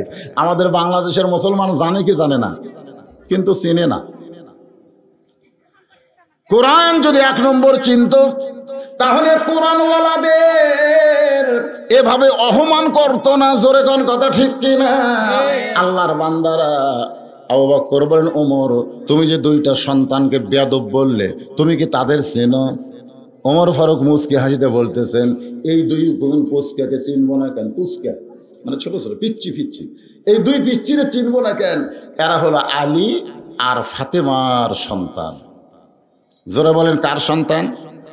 আলী আর ফাতেমা। কের না খান আলী। যদি হজরত উমর বলতেন, এরা দুইজন আলীর সন্তান। হতো না? হতো কি হতো না? কিন্তু আলী এবং ফাতেমা দুইজনের নাম নিলেন কেন? আমি যখন বিয়ে করছি উনিশশো একানব্বই সালে, তখন আমার কাজী সাহেব বলতেছে যে, আপনার বাপের নাম কি? আমি বাপের নাম লিখে দিলাম, আমার বিয়ে হয়ে গেল। কিন্তু দুই হাজার চোদ্দ সালে আমার জামাই যখন আমার মেয়েকে বিয়ে করতেছে, তখন কাজী বলতেছে, আপনার বাপের নাম কি, মায়ের নাম কি? আমি চিন্তা করলাম, আমার বিয়ে খালি বাপ দেওয়া হলো। আর জামাইয়ের বিয়ে বাপও লাগে, মাও লাগে, ব্যাপার কি? আপনারা যারা মুরব্বী আছেন, আমাদের বিয়ে কিন্তু খালি বাপ দেওয়া হচ্ছে, হয়নি? আর এখনও তারা বিয়ে করতেছে, কথা কয় না। বাপের সাথে মা লাগে কে লাগে না? তাহলে বর্তমান যে সরকার ক্ষমতায় আছে, এই সরকার আগে যত সরকার বাংলাদেশে ছিল, এরা খালি বাপের গুরুত্ব বুঝেছে, মায়ের গুরুত্ব দেয় নাই। অথচ সাড়ে চোদ্দ শত বছর আগে হজরত উমর শুধু বাপের কথা কইল না, মায়ের কথাও বলেছে। এখান থেকে প্রমাণ হয়ে গেল, সন্তানের ব্যাপারে শুধু বাপের গুরুত্ব না, মায়ের গুরুত্ব অনেক বেশি। আজকে যে ছেলেরা রাস্তাঘাটে ঘুরতেছে, যে ছেলেরা আজ ওয়াজের আশেপাশে গল্প করতেছে, যে ছেলেরা কোরআনের মাহফিলে বসতেছে না, আপনারা বলেন তো, এই যে ছেলেরা খারাপ হওয়ার পিছনে কি বাপের দোষ? এ কথা কোন বাপের দোষ? নুহু নবী নির্জনে বসে আল্লাহর কাছে কানতেছে আল্লাহ, আমার বারোটা সন্তানের মধ্যে দুইটা সন্তানই এত ভালো, বনিয়ামিন আর ইউসুফ এত ভালো, আর এই দশটা এত খারাপ হলো কেন? আমি নবী হিসাবে জন্ম দিলাম, এরপরে এই দশটা খারাপ হলো আল্লাহ কয়, নুহু, কান্দ না। কান্দ না, কারণ সন্তান ভালো মন্দ হওয়ার পিছনে বাপের কোনো দায়িত্ব নাই। দায়িত্ব হলো মায়ের। যে মাও ভালো, তার দুই সন্তান ভালো, আর যে মা খারাপ আর পেটে দশটাই খারাপ। আজকে যারা রাস্তায় ঘুরতেছে, কি জন্য ঘুরতেছে? ওই যখন মায়ের পেটতা ছিল, তখন মাও পেটত দিয়া গোটা চামরুল ঘুরিছে। গোটা চামরুল ওই পেটত থাকতেই ঘুরিছে বুঝলেন না? পেটের মধ্যে থেকে আর ঘোরণে বেড়ানো শুরু হচ্ছে আজকে কোরআনের মাহফিলেও বসতে পারবে না, কারণ ঘুরণি আর শুরু হচ্ছে পেটের ভিতর থেকে। এই জন্য ইমাম গাজ্জালি রহমতুল্লাহ বলেন, শোনেন যখন কোনো মেয়ে মানুষের পেটে বাচ্চা আসে, বাচ্চা আসার সঙ্গে সঙ্গে ওই মেয়েটার মাসিক ব্যায়াম আল্লাহ বন্ধ করে দেয়। প্রত্যেক মাসে মেয়েদের তিন দিন, পাঁচ দিন, সাত দিন, একটা অসুখ হয় কি হয় না? আপনার বলেন তো, এই অসুখ যখন হয়, নামাজ পড়া যাবে, রোজা করা যাবে, কোরআন পড়া যাবে। তাহলে বোঝা গেল যখনই পেটে বাচ্চা আসলো, তখনই আল্লাহ অসুখ বন্ধ করে কেন দিল? ইমাম গাজ্জালি বলেন, অসুখ বন্ধ করার কারণ হলো পেটে বাচ্চা থাকা অবস্থায় মার ইবাদতের যেন কোনো কমতি না হয়। কারণ মায়ের ইবাদতের সাথে পেটের বাচ্চার তাসির আছে। মা খায় বলেই তো পেটের বাচ্চা খায়। তাহলে মা যদি ভালো হয়, পেটে বাচ্চা নিয়ে মা যদি নামাজ পড়ে রুকু থেকে যখন শেষ দায় গেছে পেটের মধ্যে বাচ্চা এরকম বেকা হয়েছে, রুকুর থেকে শেষ দার যাওয়া মানে একটা চাপ খাওয়া। ফেরস্তা বলে, আল্লাহ, তোমার বান্দি নামাজের শেষ দায় যায়, পেটের বাচ্চাদের চাপ খায়, পেটের বাচ্চার কি কষ্ট হয় না?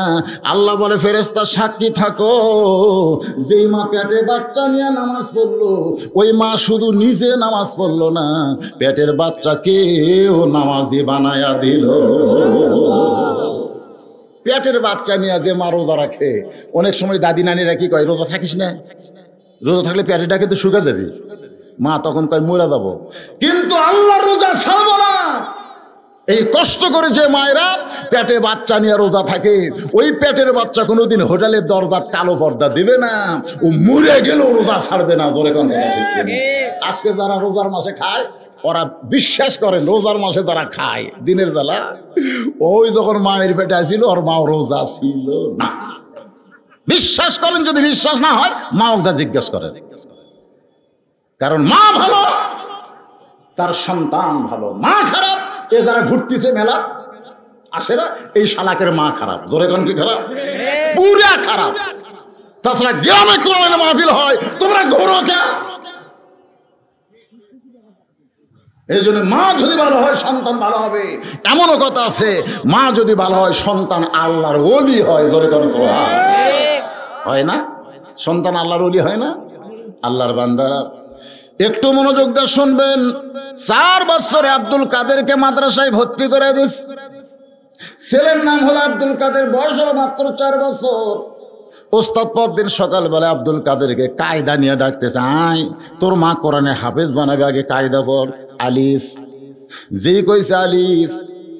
আব্দুল কাদের লাম মিম জালিকাল কিতাবুল লা রাইবা ফি হুদাল লিল মুত্তাকিন আল্লাযীনা ইউমিনুনা বিল গায়বি ওয়া ইউকিমুনাস সালাহ ওয়া মিম্মা রাযাকনাহুম ইনফিকুন। ওস্তাদ মারছে দৌড়। এত ছাত্র পড়ালাম আলিবের পরে বা। ই তো বা কয় না, লাম মিম কয়ে দেয়ারে ধরছে, এত থামান যাচ্ছে না। এই মানুষের বাচ্চা না, জিনের বাচ্চা হবে, পেতনির বাচ্চা হবে। ওস্তাদ মারছে দৌড়, সমস্ত ছাত্র শিক্ষক বলে, হুজুর দৌড়েন কেন? বলে জীবনে কোনোদিন দেখি নাই একলা দেখতেও ভয় পাই। জীবনে কোনোদিন দেখি নাই, আবার একলা দেখতেও ভয় পাই। সবাই মিলে ঘিরে ধরেছে। ওই চার বছরের বাচ্চা চোখ বন্ধ করে খালি ঝুঁকতেছে আর মারতেছে, ঝুঁকতেছে আর মারতেছে।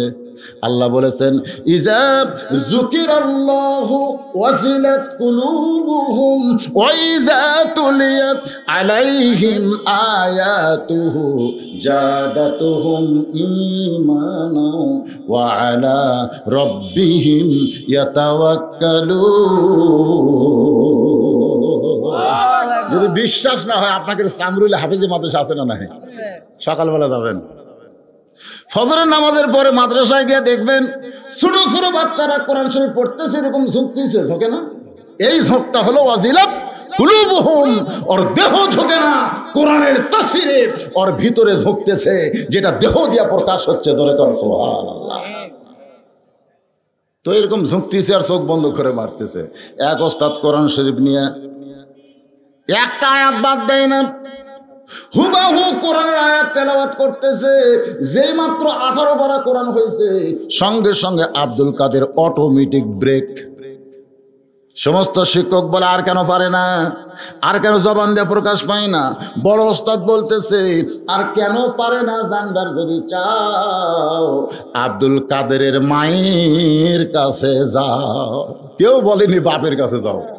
কার কাছে?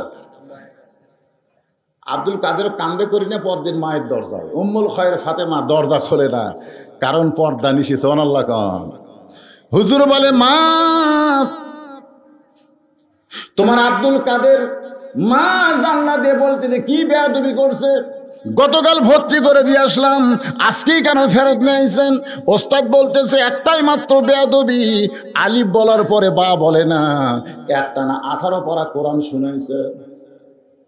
তুমি বলো মা, এইটা কেমনে? মা কান্দের বলে, আমি জানি না, আমি বলতে পারব না। আমি জানি না, আমি বলতে পারব না। ওস্তাদ বলে, মা, গোপন করো না। আব্দুল কাদেরের মা বলে, আমি হলাম আঠারো পারা কোরআনের হাফেজা। এই আব্দুল কাদের যখন আমার পেটে ছিল, আল্লাহর শপথ করে বলতেছি, একটা ওয়াক্ত নামাজ আমি কাজা করি নাই। এই আব্দুল কাদের, যখন আমার পেটে ছিল, রমজান মাসে রোজা করেছি, ওই আব্দুল কাদের যখন আমার পেটে ছিল, আল্লাহর হুকুমের কিছুই খেলাপ করি নাই। এই আব্দুল কাদের যখন দুনিয়াতে ভূমিষ্ঠ হলো, যখন আমার আব্দুল কাদের কান্নাকাটি করতো, আমি, বাবু, তো তো তো তো কয়া কান্না থামাই নাই। আমি আল্লাহর কোরআন পড়েছি, আমার আব্দুল কাদের কান্না থেমেছে। আমার আব্দুল কাদের যখন স্তনের দুগ্ধ পান করত, আমি আল্লাহর কোরআন পড়তাম। আমার স্তনের দুগ্ধ পান করত, আব্দুল কাদের যখন আমার কাছে ঘুমাইত, আমি এক পারা কোরআন না শুনাইলে আমার আব্দুল কাদের কোনোদিন চোখ বন্ধ করতো না। আমার মনে হয় এই যে চার বছর আব্দুল কাদের আমার কাছে ছিল, দুনিয়াতে আসার পরে এই চারটা বছর আমি আঠারো পারা কোরআন বহুবার তেলাওয়াত করেছি। আমি মায়ের মুখের তেলাওয়াত শুনে আব্দুল কাদের যে মুখস্থ করেছে, এটা মা হইয়াও আমি বুঝতে পারি নাই। শিক্ষক, ছাত্ররা কান্দার বলে, মা যদি ভালো হয়, সন্তান আল্লাহর অলি হয়। আর আমাকে মা কোলত নিয়ে স্টার জলসা দেখে, জোরে কোন কথা ঠিক কিনে? সন্তান কানতেছে কোলত নিয়ে স্টার জলসা জি বাংলা দেখতেছে। এই দেখতে দেখতে সন্তান যখন তিন চার বছর বয়স হয়ে গেছে এক সময় মেয়ে বলতেছে, আমি হব কটকটি, তুমি কিরণ মালা এই তো হলো বাংলাদেশের নারীদের জ্বালা। জোরে কোন কথা ঠিক কিনা? আমার মায়েদের জন্য বলতেছে মা, একটু মনোযোগ দিয়ে শুনবেন। কারণ সন্তান ভালো মন্দ, এটা বাপের কারণে নয়, সন্তান ভালো মন্দ হয় মায়ের কারণে। মা যদি ভালো হয়, আমরা ভালো সন্তান পাবো। একজন খ্রিস্টান লেপোনিয়াল বলেছে, খ্রিস্টান মানুষ, সে বলেছে, তোমরা যদি ভালো একটা সন্তান চাও, আমাকে একটা ভালো কি দাও? কথা কয় না, ভালো কি দাও? ভালো একটা মা দাও। ওমর ফারুক বললেন এই দুইটা হলো আলিয়ার ফাতেমার সন্তান।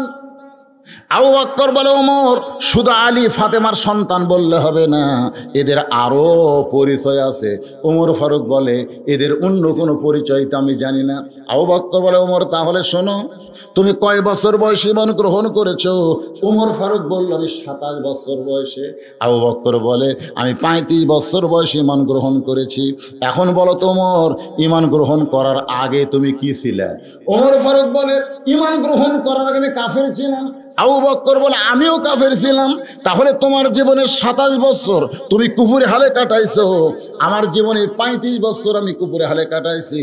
আর যে দুইটা সন্তানকে তুমি বেদব বলতেছ, এরা জন্মসূত্রে জান্নাতি হয়ে জন্মেছে। সোমানাল্লাহ ধরে করলেন না। তাহলে জন্মসূত্রে কি হয়ে? জান্নাতি। আর আমরা? কথা কয় না। আমরা হলো জন্মসূত্রে মুসলমান। তো জন্মসূত্রে মুসলমান হয়ে জন্ম নিলেন, এতে খুশি না বেজার? তাহলে জবান খুলে স্বতঃস্ফূর্তভাবে বলেন, আলহামদুলিল্লাহ। আমি যে আয়তে কারিমা তেলত করেছি, ইন্নামাল মুমিনুন আল্লাযীনা ইজা যুকিরাল্লাহু ওয়াজিলাত কুলুবুহুম, ওয়াইজা তুলিয়াত আলাইহিম আয়াতুহু, জাদাতুহুম ঈমানা ওয়া আলা রাব্বিহিম ইয়াতাওয়াক্কালুন। এই আয়াতটার উপরে আলোচনা হচ্ছে, একটু মনোযোগ দিয়ে শুনবেন। মুমিন কারা? এখানে আল্লাহ বলতেছেন, ইন্নামাল মুমিনুন আল্লাযীনা। খুব খেয়াল করবেন, মুমিন কারা? আজান হয়েছে মসজিদে। মসজিদে আজান হয়েছে, যারা যারা নামাজ পড়তে গেল আর যারা যারা গেল না। আমার এলাকার একজন আছে আকাশ চন্দ্র পান বেছে আর একজন আছে আব্দুল মান্নান হোটেল দিছে। মসজিদের কাছেই দুটা দোকান। একটা হলো আব্দুল মান্নানের হোটেল, আর একটা হলো আকাশ। পাঁচ বের গেলে আপনারা দেখবেন আব্দুল মান্নান আর আকাশ একই জায়গায়। কিন্তু যখন মসজিদে আজান দেয়, ওই আকাশও যায় না, আব্দুল মান্নানও যায় না। মানে দুইজনের কেউ না। কিন্তু একজন কয়, আমি আব্দুল মান্নান মুসলমান ওই কয়, আমি আকাশ হিন্দু কিন্তু আজান দিলে হিন্দু না যাক, আব্দুল মান্নান তো যাওয়ার কথা। ঠিক কিনা বলেন? কিন্তু দুটার কেউ যায় না। এখন বলেন তো কোনটা মুসলমান? এখানে যে আল্লাহ বলতেছে, ইন্নামাল মুমিনুন আল্লাহ দিন মুমিন কারা? এটা আমাকে বার করার দরকার আছে না নাই? জোরে কেন, আছে না নাই? মসজিদ তো বানাবেন। এই গ্রামে আরও মসজিদ আছে, আমি দেখলাম ভাইরা মসজিদ করবে, খুব বিপদে আছে। কেবল চারিদিকে একটু কলম টলম তুলিছে। হ্যাঁ, আমাকে বলে হুজুর এটাই শেষ এরপর সব হিন্দু। মানে এইটুকুই এরপরে আর মুসলমান নাই আমরা হিন্দুকের মধ্যে মুসলমান। আমার এখানে প্রশ্ন হলো আল্লাহ বলতেছে মুমিন কারা? আল্লাহ রাসুল বললেন লা লা ইমানা যার নামাজ নাই সে মুমিন না। যার নামাজ নাই তার ইমান নাই। ধরে কোন যার নামাজ নাই তার কি নাই? এ কথা কর না কেন আপনারা? আপনারা জোহর নামাজ পড়েনি নাকি? পড়ছেন? তাহলে কথা কর না কেন? এই নামাজের ওয়াজ করলে এই বেনামাজিরা বেজার হয়। কে আর ওয়াজ নাই? এই ঘুরে ফিরে এক নামাজের কথা। হায় হায়। কিন্তু আপনারা যে শুনবেন কোরআনের আয়তের তাফসির, মুমিন কারা? বাইনাল আব্দি ওয়াল কুফরি তর্ক সালাত। রাসূল বলেছেন, বান্দার কাফের মধ্যে পৃথক করার জিনিসটা হলো নামাজ। যে নামাজ পড়ে সে বান্দা হবে, যে নামাজ পড়ে না সে কাফের হবে। তাহলে মুমিন কারা? আল্লাহ বললেন, মুমিনদের এক নম্বর বৈশিষ্ট্য হলো, ইজা কুলুবুহুম। যখন আল্লাহর জিকির হবে, এই জিকিরে তাদের অন্তরের মধ্যে কম্পন সৃষ্টি হয়ে যাবে। এই জিকির মানে কি? পিছন দিকে একজন বলল, কোরআন। জিকিরের বহু অর্থ আছে না নাই? আল্লাহর একজন মস্ত বড় পায়গাম্বার, নাম হলো নুহ নবী। নাম শুনছেন? নুহ নবীর নাম শুনছেন আপনারা হ্যাঁ। উনি শুকনা জায়গায় একটা নৌকা বানাচ্ছেন। নৌকা। বর্তমানে ক্ষমতায় আছে। সেই দলের প্রতীকের নাম কি? নৌকা। নুহ নবীর নৌকা। নৌকা যখন বানাচ্ছেন, ইতিমধ্যে এক বুড়ি মানুষ লাঠি নিয়ে এসে বলতেছে, বাবা নুহু, এই শুকনা জায়গায় নৌকা বানানোর কারণ কি? নুহু বলতেছেন, বুড়িমা, বন্যা নামক একটা গজব আসবে। এই গজবে গোটা পৃথিবী ধ্বংস হবে। কেবলমাত্র নৌকার ভিতরে যারা ঢুকবে, তারা ধ্বংস হবে না। বর্তমানে বাংলাদেশে নৌকার ভিতরে যারা আছে, চোর, ডাকাত বদমাস হলেও তাদের কোনো সমস্যা নাই। কিন্তু নৌকার বাহিরে তত বড়ই হুজুর হোক না কেন, তারপরেও তার বিপদ আছে। কি অবস্থা? নুহ নবীর কথা আর বাংলাদেশের নৌকা মিলে গেছে। আমার এলাকার একটা চোর, কি কয় নৌকা? যা, তোর টেনশন নাই। বজ্রশীত কি? কয় নৌকার! মানে নৌকার বেড়া হলি বিপদ। নুহনবী বললেন, বুড়িমা, এই নৌকার ভিতরে যারা থাকবে, তাদের কোনো বিপদ হবে না। কিন্তু নৌকার বাহিরে যারা থাকবে, তারাই গজবের মধ্যে পড়বে। নুহ বুড়ি বলতেছে, বাবা নুহ, এই লক্ষ লক্ষ মানুষ তোমার এই ছোট নৌকায় বাঁচার জন্য যদি উঠবার চাই বন্যা গজবের সময়, তাহলে তোমার নৌকায় কি এত মানুষ ধারণ করবে? নুহ বলতেছেন বুড়িমা এই নৌকায় ওটার শর্ত হলো, এই নৌকা ওটার একটা শর্ত আছে। ইমানদার বান্দা বান্দি যারা নৌকার ভিতরে জায়গা পাবে তারা বেঈমানদের জায়গা নৌকায় হবে। সঙ্গে সঙ্গে বুড়ি বলল লা ইলাহা ইল্লাল্লাহু নূহু নাবিউল্লাহ। সবচাইতে বড় জিকির। সবচাইতে বড় জিকির লা ইলাহা ইল্লাল্লাহ। লা ইলাহা ইল্লাল্লাহ। লা ইলাহা হ্যাঁ সবচাইতে, যত জিকির আছে পৃথিবীতে, সবচাইতে বড় জিকিরের নাম কি? নুহ নাবিউল্লাহ। নুহ বলতেছেন বুড়িমা আর আপনার টেনশন নাই। আর কোনো টেনশন নাই, আপনি বাড়ির যে ঘুম পাড়েন। বন্যা গজব যখন শুরু হবে, তখন আমি আপনাকে হাত ধরে নৌকায় উঠায় নিব। সঙ্গে সঙ্গে বুড়ি বলল, আলহামদুলিল্লাহ। আসলে বুড়ির বলা দরকার ছিল বাবা নুহু। তুমি আসলেই ভালো মানুষ। বন্যা গজব আসলে আমার হাত ধরে তুলবে। তো নুহু নবীর প্রশংসা না করে বুড়ি প্রশংসা করল কার? আজকে আপনারা কার করতেছেন? আজকে বাংলাদেশে প্রধানমন্ত্রীর প্রশংসা বেশি না আল্লাহর প্রশংসা বেশি? আল্লাহর প্রশংসা না করলে কিছু অসুবিধা নাই। কিন্তু প্রধানমন্ত্রীর প্রশংসা ও ও। কতকগুলা চান্সে এমন হওয়া হচ্ছে। মনে করতেছে। এটাই তার ইমান এটাই তার জ্ঞান। আজকে শোনেন, ইন্নামাল মুমিনুন আল্লাযিনা, মুমিন কারা? পাইকারি হারে সবাই মুমিন না। এখানে মুমিনকে বাছাই করা হয়েছে, ধরে কথা ঠিক না? বুড়ি চলে গেলেন বাড়িতে, প্রশংসা করলেন কার? বন্যা গজব শুরু হয়ে গেছে। গোটা পৃথিবী ধ্বংস হয়ে গেল।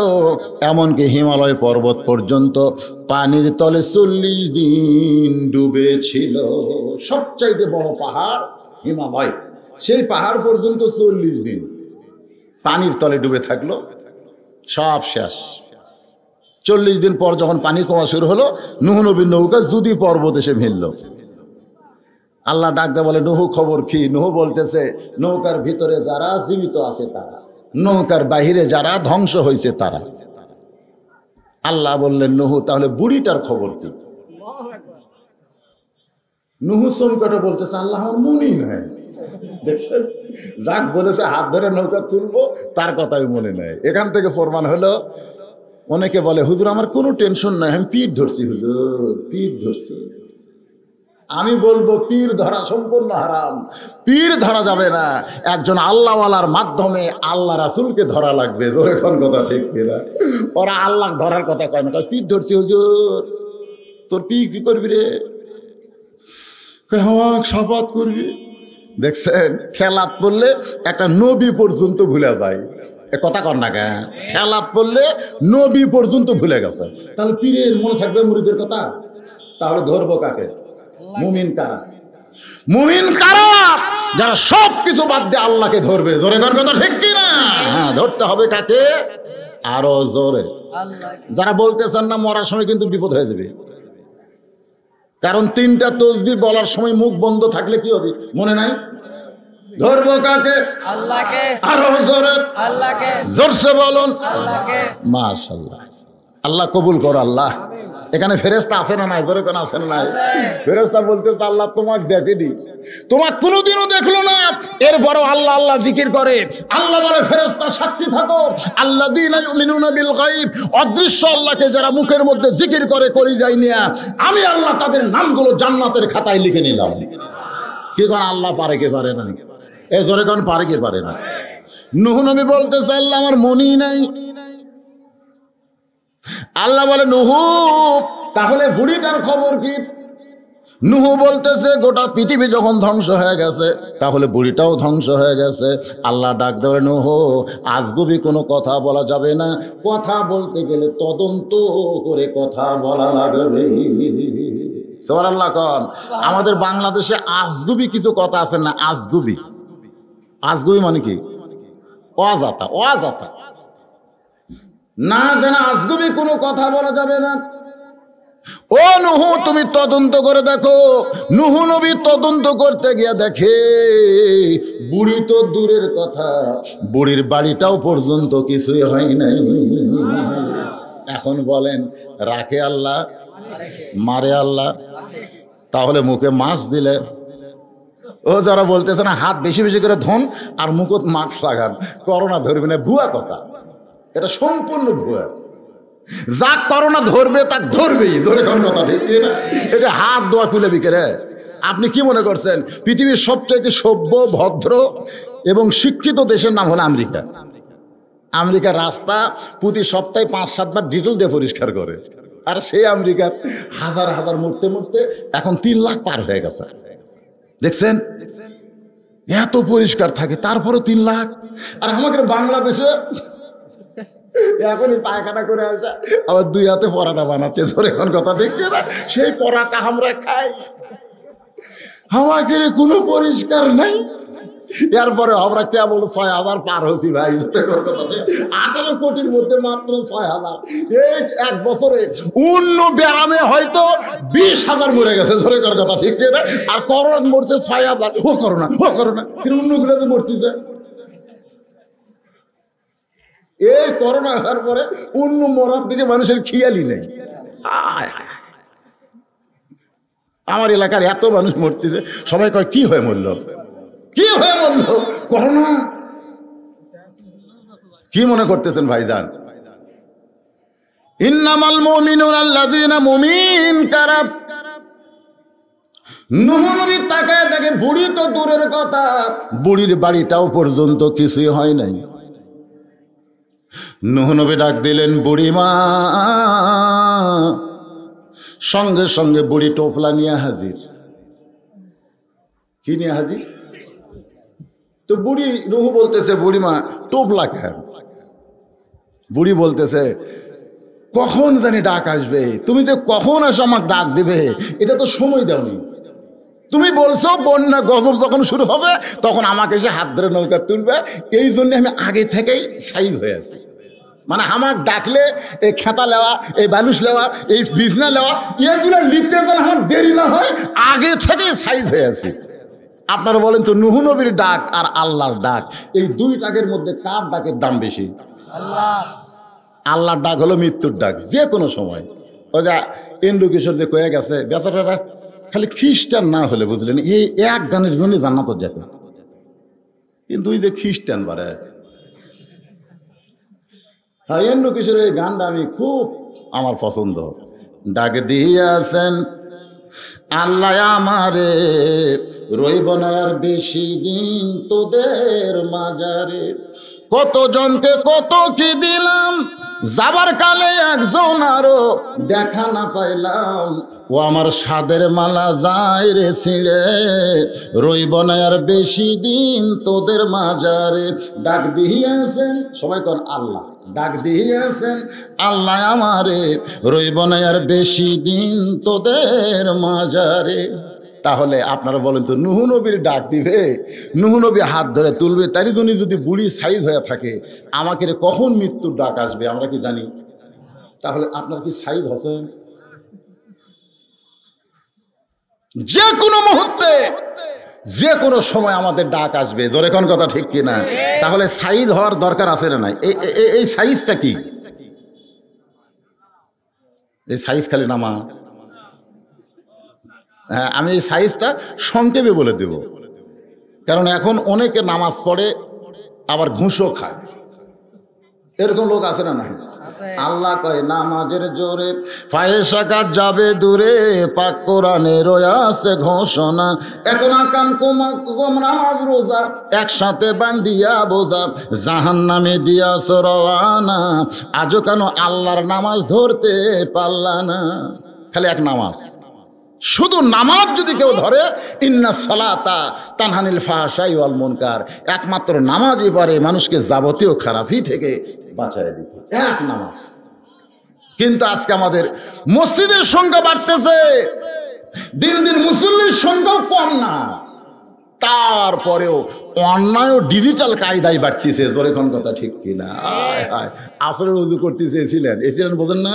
উপজেলার যে ভূমি, অফিসার। আসলে উজু করতেছে, এক লোক ঘুষের ব্যাগ লেগেছে। এক ব্যাগ টাকা ঘুষ লেগেছে। এসিলেন পড়তেছে তোর আক্কেল নাই। আমি এখন উজু করতেছি। নামাজ পড়ব। আসার সময় পাসনি আমি অজু অবস্থায় নামাজ না পড়ে ওটা হাত দিয়ে ধরবো না। তোর যদি সময় না থাকে ডয়ের মধ্যে থুয়ে যা কি কায়দা? এর নাম হলো ডিজিটাল কায়দা। আজকে আমাদের বাংলাদেশে অনেক নামাজি ডিজিটাল কায়দায় অন্যায় করতেছে। নামাজি শুধু নামাজি না, এবার হজত যাবে। এবার হজত যাবে। এই যে মমতাজ ভাই আমার বহু লোক দাওয়াত দেয় হজে যাওয়ার আগে। আমি যাই কেবল দোয়া করব, ইতিমধ্যে এক লোক দাঁড়িয়ে বলছে যে, হুজুর, দোয়া পরেই করেন। আমি বললাম, কারণ? বলে, এই লোকটা তো হজ করবার যাচ্ছে, গত রোববার যে রেস্ট অফিসে গেছিল, খবর কি? তো হজ করবার গেলে মানুষ ভিসা অফিসে যায়। ই রেস্ট অফিসে গেছিল কেন আমি দোয়া বাদ দিয়ে বললাম, ভাইজান, খবর কি? বলে, কোনো বিপদ রাখিনি হুজুর, সব সাইজ করছে। আমি কীভাবে সাইজ করলেন? বলে বিশ বিঘার জমি আটের মধ্যে কম্পন সৃষ্টি হবে। নুহু বলতেছে, বুড়ি মা টোপলা বাদে সাইজ হয়ে আসেন কেন? বুড়ি বলতেছে, বাবা, তোমার কি মনে নাই? তোমার কি মনে নেই? তুমি না কইছিলাম বন্যা গজব যখন শুরু হবে, তখন আমার হাতটা ধরে তুমি আমাকে নৌকায় তুলবা। কবে গজব শুরু হবে বাবা? নবী হয়ে বুড়ির কাছে জানতে চাচ্ছে যে, কি আমল করলেন? বন্যা গজব দিয়ে আপনার বাড়ির কিছু হলো না, আপনার কিছু হলো না। আমলটা কি করেন, আমি নবী হিসাবে জানতে চাই। আপনারা এমন একটা আমল করবেন যে করোনা তো দূরের কথা, করোনার বাপও আপনাদের সাইড দিয়ে আসবে না। সে আমলটা কি? আমল আছে না নাই? জোরে কান আছে না নাই? আমলটা হলো, আল্লাহম্মা ইন্নি আউজুবিকা মিনাল বারাস।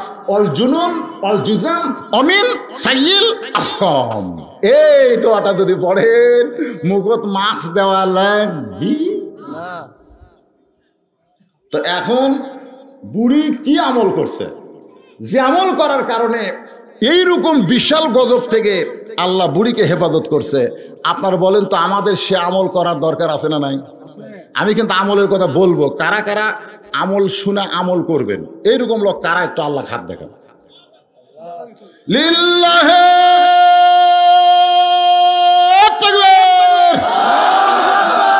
হাত নামা ভাইজান, আমি যখন টেজে আইছি তখন বাসছিল পৌনে দুইটে।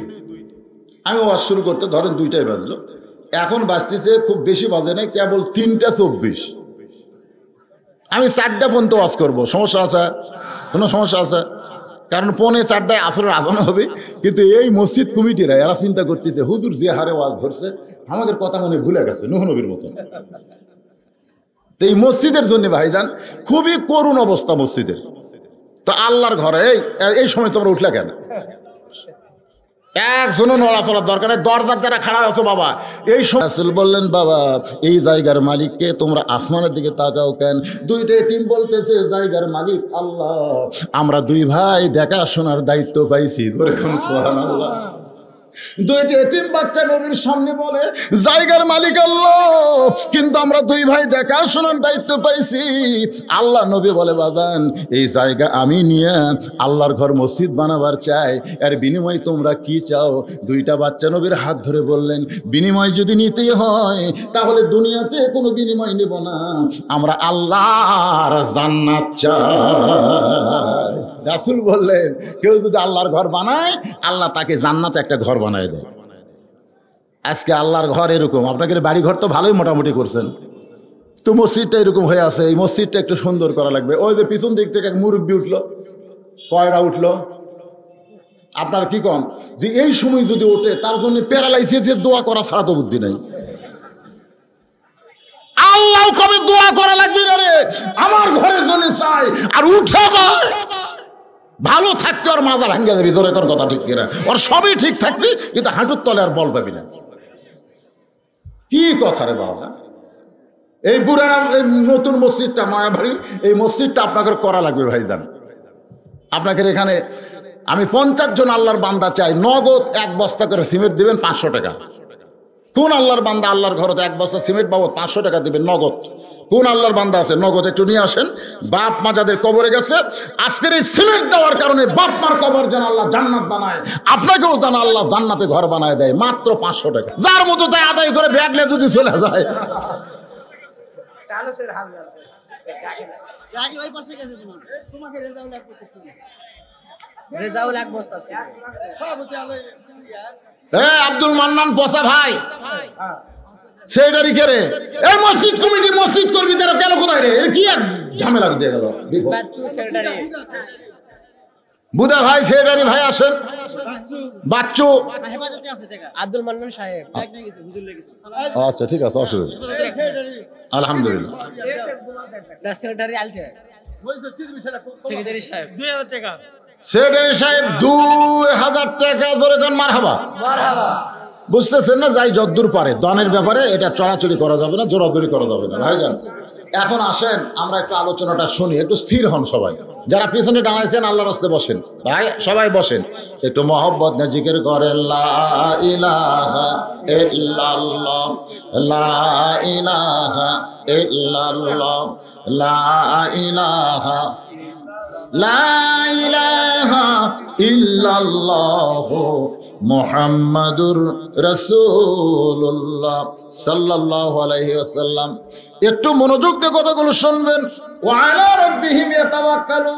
মুমিনদের তিন নম্বর বৈশিষ্ট্য হলো, সকল ব্যাপারে আল্লাহর উপর ভরসা করবে। আমি কিন্তু দুই নম্বর আর তিন নম্বর, এই দুইটা নিয়ে একটু আলোচনা করব এই মুহূর্তে। কারণ এক নম্বরের আলোচনা ওই বুড়ি মা দিয়ে আপনাদের করেছি। আর বুড়িটা কি আমল করেছে যে আমল করার কারণে বন্যা নামক মহা গজব তাকে ধরতে পারে নাই? আমাদের সামনে এর চাইতেও বড় গজব আছে। কারণ বন্যা গজব দিয়া মানুষের দেহ ধ্বংস হতে পারে। কিন্তু এমন একটা গজব আমাদের সামনে আসতেছে, যে গজবে আমাদের ইমান নষ্ট হয়ে যাবে। একজন মুসলমানের কাছে দেহের দাম বেশি না ইমানের দাম বেশি? জোরে বলেন, কার দাম বেশি? ইমানের দাম বেশি। নানা রকম চেষ্টা করে আমাদের ইমানকে ধ্বংস করার একটা পায়ে তারা চলতেছে আল্লাহর বান্দারা। কিন্তু সেই ইমানকে আমরা বিজয় আনতে পারব। ওয়াইজা তুলিয়াত আলাইহিম আয়াতুহু জাদাতুহুম ঈমানান, এগুলা কি? সভাপতি সাহেব। এই সভাপতি কে রে? ভাই কি দিবেন? ওয়াজ শুরু করে আদায় করা যাবে না একবার কমপ্লিট করে দেন আপনি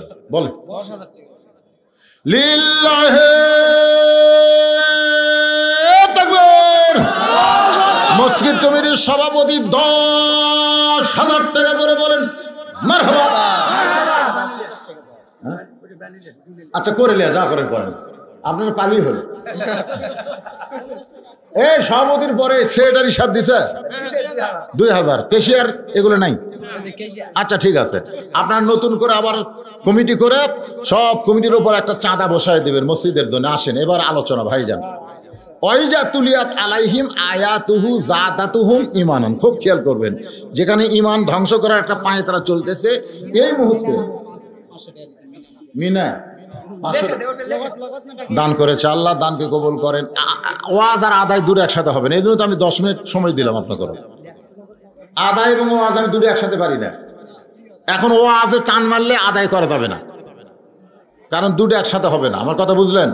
হ্যাঁ এই জন্য যারা দিবেন এখন আর নামের দরকার নাই। আপনি দিয়ে দেন। যারা বাকি দিবেন লিখে দেন। আর নামের দরকার না আমি নাম বললে কবুল হবে না বললে হবে না। এই বিশ্বাসও অন্তরে রাখা যাবে না। তো কি বলতেছিলাম? ও আলা রব্বিহিম ইয়াতাওয়াক্কালুন, আর ওয়াইজা তুলিয়াত আলাইহিম আয়াতুহু জাদাতুহুম ঈমান। আমাদের ঈমান বাড়ানোর দরকার আছে না নাই? ঈমান দুর্বল হলে তো যে কোনো শেষ কারণ আল্লাহ রাসূল বলেছেন, যখন আমরা মরে যাব, মরার আগে আমরা আজরাইল আসার আগে আমাদের কাছে শয়তান আসবে। কোন কি আসবে? শয়তান এসে, শয়তান কিন্তু বহু জাদু জানে। শয়তান এসে একটা, এক হাতে থাকবে একটা পিয়ালা, আর এক হাতে থাকবে জান্নাত। এই জুয়েল আইসের জাদুর মতো। তো জান্নাত দেখে বলবে, এই জান্নাতে যাবা? যারা দুর্বল ইমান, তারা তো যাব যাব যাব। যদি জান্নাতে যাওয়ার চাও, তাহলে আমি আল্লাহ, আমাকে আল্লাহ কয়ে স্বীকার করো। যারা নামাজ নাই, রোজা নাই, মিথ্যা মিথ্যা মুসলমান সাজা ঘুরিছে, ওরা শয়তানক আল্লাহ কয়ে বেঈমান হয়ে মারা যাবে। তাহলে আমরা যদি ইমানের সাথে মৃত্যুবরণ করি, আল্লাহ বলেছেন ইমানের সাথে মৃত্যুবরণ করলে তোমাদের কি করতে হবে? রে ইমানদারেরা শোনো আত্মা করল ভয় করবে আল্লাহর হাক্কা তোকাতিহি, শুধু ভয় করলে হবে না, নিয়ম মোতাবেক ভয় করলে, করা লাগবে। ওয়ালা তামুতুন্না, মৃত্যুবরণ করো না। ইল্লা ওয়া আনতুম মুসলিমুন, যতক্ষণ তোমরা মুসলমান না হবে। এটা ফরিদপুর জেলা। ফরিদপুর জেলার নাম শুনছেন? চাঁদপুর। ফরিদপুর। এই চাঁদপুরের একটা উপজেলা আছে নাম হলো ফরিদগঞ্জ। সেই ফরিদগঞ্জ কেন্দ্রীয় মসজিদে যিনি ইমামতি করেন খুব খেয়াল করবেন আমাদের উপরে কিন্তু গজব আসতেছে। তো ওই কেন্দ্রীয় মসজিদের ইমাম সাহেব একদিন খুতবা দিতে গিয়ে বললেন ইমামতি করে টেকা নেওয়া জায়েজ নাই। যেই বলছে ইমামতি করে টেকা নেওয়া জায়েজ নাই তখন সব মুসল্লি কয়, আলহামদুলিল্লাহ। মুসল্লি দেখল, আমাকে আর কোনো সমস্যা আছে? আচ্ছা এই কথা যেই বলল ইমতি করে টেকা নেওয়া জায়েজ নাই। গেল গত জুম্মায় এসে বলতেছে, আগামী জুম্মায় আবার এসে বলতেছে যে, গরিব ইমামের পিছনে, গরিব ইমাম যদি গরিব হয়, তার পিছনে নামাজ পড়া মাকরু চিন্তা করে দেখেন, আমাদের বাংলাদেশে যারা মসজিদের ইমামতি করে, তারা অধিকাংশই ধনী না গরিব? কি ফতুয়া মারছে? তো তখন ওই ফরিদগঞ্জ উপজেলার যত ইমাম আছিল, সমস্ত ইমাম একত্র হয়ে র্যাব অফিসে গেছে, র্যাব অফিস। র্যাব অফিসে যা বলতে স্যার, এতদিন হলে আমরা নামাজ পড়াই। কোনো সমস্যা নেই। কিন্তু ইদানিং এক হুজুর এসে দুটা ফতুয়া মারছে। এক নম্বর ফতুয়া হলো, ইমামতি করে টেকা নেওয়া চলবে না। দুই নম্বর ফতুয়া ফতুয়া হলো গরিব ইমামের পিছনে নামাজ পড়া মাকরু। তা আমরা সব গরিব, আমরা একটু টাকা পাই। আর ই এসে ফতুয়া দিল ই থেকে আসলো? এই হুজুরটা কুত থেকে আসলো কি বাংলাদেশে? আমাকে একটু সন্দেহ হয়েছে। তাই আপনার কাছে একটু কমপ্লেন দিলাম। তেরাব অফিস থেকে পুলিশ পাঠিয়ে দিয়েছে যাও, হুজুরক নিয়ে আসো। সসম্মানে হুজুরক নিয়ে আসো। যে হুজুর এই ফতুয়া দিছে, সে হুজুরকে নিয়ে গেছে। নিয়ে যা বলতেছে, হুজুর, আপনি আসলে কে? যেই কইছে, আপনি আসলে কে? ওই চমকে উঠছে। যেই চমকে উঠছে তখন র্যাবেরা বুঝিছে যে তার মধ্যে কিছু একটা আছে। চমকে উঠল কে আপনারা কোনদিন তো রিমান্ডার জাননি আমি মাঝে মধ্যে গেছি, আমি জানি। তো এখন যেই বলছে, আপনি কে ওই চমকে উঠছে। তখন র্যাবের যাই মেজর, তাই বলছে হুজুরক সসম্মানে ভিতরে নিয়ে যাও। তো ভিতরে নিয়ে যা দরজা বন্ধ করছে। এর নাম হলো রিমান্ড রিমান্ডে যখন দরজা বন্ধ করবি, তখন কিন্তু আপনি তাপনি নাই, সরাসরি তুই। মানে আমাকে লিয়ে গেছে, তুমি জানি। এত বড় হুদু, তুই শালা বাঞ্চ সব কছে মানে ভিতর দরজা বন্ধ করে দিতে বলেন না। দিয়ে এখন বলতে চাই এই শয়তান, তুই আসলে কে? চারিদিক থেকে ওই পেলাস টেলাস আছে লিয়ে আসে এই- এই লোক ধরে, বুঝলেন? ধরে মারে টান লোক। আর একটা সুই লিয়ে আসে এই দিক দিয়ে ঢুকে দেয়। মাঝে মধ্যে ওই গরম ডিমও ঢুকেই বুঝতেছেন না? তো এখন বলছে, এই শয়তান, তুই কে? যেই কইছে কে, তখন বলতে থাকি খ্রিস্টান। কত বড় ষড়যন্ত্র চলতেছে, একটু মনোযোগ দেন। হয়তো আপনাকে লাগাতো এর ষড়যন্ত্র একটা অংশ আসতে পারে। ওয়াইজা তুলিয়াত আলাইহিম আয়াতুহু জাদাতুহুম ইমানান ওয়া আলা রব্বিহিম ইয়াতাওয়াক্কালুন। একটু খেয়াল করবেন। যেই বলছে আমি খ্রিস্টান, তাহলে তুই খ্রিস্টান হয়ে হুজুর সাজলি কেন? ও বলতেছে, আমি শুধু একা না, এই বাংলাদেশে আরও চব্বিশ জন হুজুর খ্রিস্টান। সাজা তারা নামাজ পড়াচ্ছে। বলে, কেমনে? বলে সিটাগাঙ্গে একটা গোপন মাদ্রাসা আছে। সেই গোপন মাদ্রাসা আমরা দুই বছর ক্লাস করে হুজুর সাজিয়েছি। ধরে কোন হুজুর হওয়া আর হুজুর সাজা দূরে এক? আমরা হুজুর সাজা। তো বলে, তোমরা হুজুর সাজলা কেন? মাস্টার সাজো, প্রফেসর সাজো, বহু সাজার আছে, তোমরা হুজুর সাজলা কেন? তখন বলতেছে, ইসলাম পরিপূর্ণভাবে জানার জন্যে হুজুর না সাজলে হবে না। কারণ ইসলামের ভিতরে ঢুকে দেখতে হবে, ইসলাম আসলে কি? তো র্যাবের মেজর বললেন, তাহলে তুমি কি দেখলে? তখন এই খ্রিস্টান হুজুর বলেছে, আমরা দীর্ঘ বারো বছর ধরে খ্রিস্টান হুজুর সাজা, মুসলমানের মধ্যে তিনটা দল দেখছি। যেরকম কয় দল? খুব খেয়াল করবেন, এ আয়াতের সানে আলোচনা। তো এখন মেজর বলতেছে, তিনটা দল কীরকম? তো খ্রিস্টান হুজুর বলতেছে, এক দল মুসলমান, এরা খালি নামের মুসলমান। ওরা যা, আমরাও তাই। খালি নামটা মুসলমান, নাম হলো শাহরিয়ার কবির, নাম হলো তাসলিমা নাসরিন, নাম হলো আহম্মদ, নাম হলো শামসুর রহমান, এরকম নাম খালি মুসলমান, নাম হলো হোসনে আরা, নাম হলো ডক্টর ইউনুস, এরকম নাম আছে না নাই? আমাদের বগুড়া একটা হোসনে আরা আছে না নাই? জোরে কোন আছে না নাই? ওদের ঠ্যাং ভাঙ্গা। এদের নাম খালি মুসলমান। কাম যা তাই মুসলমানের মধ্যে একটা দল আছে আর খালি নামের মুসলমান। জোরে কান, কি মুসলমান? ওদের বিরুদ্ধে আমরা জীবনেও লাগবো না, বরং এদেরকে সর্বাত্মক সহযোগিতা করা হবে। খ্রিস্টানদের পক্ষ থেকে, ইহুদিদের পক্ষ থেকে এদেরকে সহযোগিতা করা হবে। এরা হঠাৎ আঙ্গুল ফুলা কলা গাছ হবে। ধরে কান, ঠিক কি না? আজকে আপনারা জানেন না, আমাদের দেখতেছেন না বগুড়া কি হচ্ছে? হোসনে আরা কি করতেছে? নাম হোসনে আরা। খ্রিস্টান হুজুর বলতেছে, এদের বিরুদ্ধে আমরা জীবনেও লাগবো না। বরং এদেরকে খ্রিস্টানের পক্ষ থেকে, ইহুদির পক্ষ থেকে সর্বাত্মক সহযোগিতা করা হবে। কারণ এরা মুসলমান নাম নিয়ে, এরা মূলত খ্রিস্টানদের উপকার করতেছে। তো র্যাবের মেজর বলতেছে, এটা এক দল বুঝলাম। দুই দল কারা? বলে, দুই দল হলো ইসলামকে এরা ছোট বানাছে। এদের বিশ্বাস হলো মসজিদ আল্লাহর ঘর। এরা যখন মসজিদের মধ্যে যাবে, তখন এরা সোজা হয়ে যাবে, সোজা। যেমন বাদশাহ শাহজাহান মসজিদের মধ্যে যায় দুই হাত তোলা দোয়া করতেছে, তোমার দরবারে আমি ফকির আমি ফকির আমি ফকির। তো এক ফকির ওর ভিক্ষা করবার যায় মন্ত্রীর কথায় বাদশাহ সাজানে ওই ঘরের মধ্যে দেখবার যায়, দেখে যে বাদশাহ সাজান নিজেই ফকির হয়ে কাঁদতেছে। তো ফকির মনে মনে কয়, কিরে হামও যাইও তাই। তো খামাকে আর কাছে ভিক্ষা করার কি দরকার? বরং যাই। এই যাওয়ার নীতি দারোয়ান বলতেছে বাবাজি, আপনি কি বাদশার সাথে দেখা পাচ্ছেন? তো ফকির বলতেছে, তোরা যাক বাদশা বাদশা বলে পূজা করতেছিস। আমি নিজের চোখে দেখলাম ফকির হয়ে কানতেছে সমস্ত দারোয়ান ফকিরক মারতেছে। ফকির চিল্লায় বলে, যতই মার, মারো না কেন, নিজের চোখে দেখা জিনিস মিথ্যা বলা। বাদশাহ সাহেব আসরের নামাজ পড়ে। বের হয়ে বলতেছে, রে দারোয়ানেরা, কাকে মারতেছো? কেন মারতেছো? বলে যাহাবন আমরা খালি মারতেছি, আপনি শুনলে তো মারিয়ে ফেলবেন। বাদশাহ সাজান বলে, কি হয়েছে? বলে, এই লোকটা বলতেছে, আপনি নাকি ফকির হয়ে গেছেন? বাদশাহ সাজান দৌড়ে এসে ফকিরের টুটি চাইবা ধরে বলতেছে, রে ফকির, তুই কি জানিস না? আমি মুঘল সম্রাট শাহজাহান। ফকির বলতেছে, এটা তো জানতাম, কিন্তু জানলার কাছে গিয়ে দেখি আপনার মতো একজন মানুষ দুই হাত তুলে বলতেছে, ও বাদশার বাদশাহ তোমার দরবারে আমি ফকির। বাদশাহ সাজান দুইটা হাত থর থর করে কাঁপে। দারোয়ানগুলো বলে, কাঁপে কেন? বলে, আল্লাহর ঘরে যতক্ষণ ফকির সাজি ততক্ষণ। আল্লাহর ঘর থেকে যখনই বাইরে আসি, তখন আবার বাদশাহ হয়ে যায়। এরা কিন্তু মুসলমান না, এরা হলো মোনাফিক, জোরে কোন কথা ঠিক কি না? আল্লাহর ঘরে যতক্ষণ সবাইকে বলে, চলো আল্লাহর ঘরত যাই। আল্লাহর ঘরত যাই, তো আবার জিজ্ঞাসা করতেছেন, কই শোনেন, মুসলমানের মধ্যে আর এক দল কারা? একটু শোনেন। সামনে এরকম বিপদ আমাদের সামনে আসতেছে। নিজের, এটা কি লোক?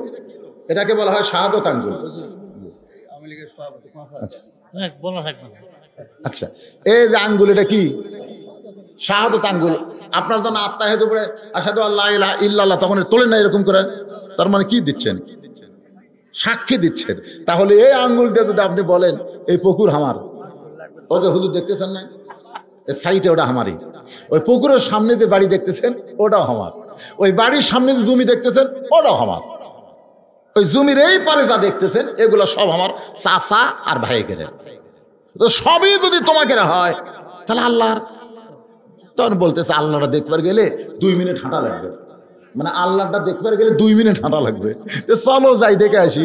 তখন হাত ধরে নিয়ে যায়, মসজিদের সামনে খাড়া করে বলতে হুজুর, এই যে দেখতেছেন, এই যে কেবল কলম উঠছে, চারিদিকে বেড়া দেওয়া আছে। এটা আল্লাহর হুজুর? এখানে আল্লাহর কিছু আসলো না। তবে আমার এই চাষা এই পাঁচ শতক আল্লাহ দিছে।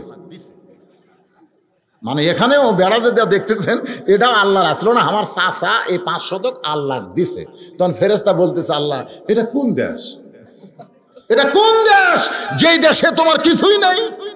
তোমাক দান করলে তুমি পাও। আল্লাহ বলতেছে, ওই দেশের নাম হলো বাংলাদেশে ওই দেশে আমার মতন গরিব কেউ নেই। বর্তমানে বাংলাদেশে আল্লাহ সবচাইতে গরিব, আল্লাহ দিলে আল্লাহ পায়। তোর এখন কথা ঠিক কিনা? এরকম মুসলমান আছে না নাই? খ্রিস্টান হুজুর বলতেছে, এদের বিরুদ্ধে আমাদের কোনো আপত্তি নাই। কারণ এরা মসজিদ আল্লাহ দিছে বাদ বাকি সব হামাকরক দিয়ে থছে মসজিদ আল্লাহর অর্থনীতি কার? এই মসজিদ কার?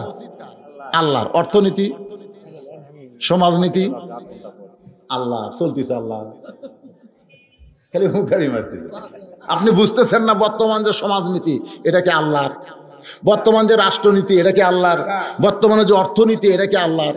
তাহলে ওই খ্রিস্টান হুজুর বলতে তো সবই আমাকে দিছে খালি মসজিদ ডাওয়ার আলিছে বিরুদ্ধে আমরা জীবনও লাগবো না, যা পারিস কর, মসজিদে যায় কর, মসজিদের বাইরে কোনো কিছু চলবি না। মসজিদের মধ্যে গেলে বিশ দল, চোদ্দ দল, ওরা এক কাতার হয়ে যায়। কি দেখাচ্ছে আল্লাহ? আমরা Awami League, BNP Jatiya Party Jamaat নাই। সব ভাঙ্গে আমরা এক কাতার দাঁড়ায় চার আঙ্গুল আওয়ামী লীগ গেলে জামাত ইসলাম টান দেয়। লাইন বুঝিস না? কাতার আওয়ামী লীগ আমি খেয়াল করিনি ভাই। ফেরত তাকে আল্লাহ কি হলো? বেড়া গন্ডগোল, ভিতরে এক কাতার। আল্লাহ কয়, শয়তান শয়তান। এরা খালি এইটুকুই আমাকে দিছে। এই জন্য আমার মধ্যে ঢুকে দল ভাঙ্গিছে। আর সব ওরা নিজের নামে করে থাকে আইন অপকর্ম সব চলতেছে শয়তানের, আর মসজিদ আল্লাহ দিছে। এই মুসলমান, এই জাতীয় মুসলমান, এদের বিরুদ্ধেও খ্রিস্টানেরা লাগবে না। খ্রিস্টান হুজুর বলতেছে, মুসলমানের মধ্যে একটা দল আছে। এই দল শুধু মসজিদ আল্লাহর না, গোটা বাংলাদেশ আল্লাহর মসজিদের সৌন্দর্য, গোটা বাংলাদেশে যারা চালু করতে চায় তাদেরকেই ধ্বংস করার জন্যে গোটা পৃথিবীর খ্রিস্টান, ইহুদি এবং ভারতের হিন্দুরা তৎপর। আপনার বলেন তো সেই দল বুঝতেছেন না? শোনেন, পরীক্ষা আসতেছে।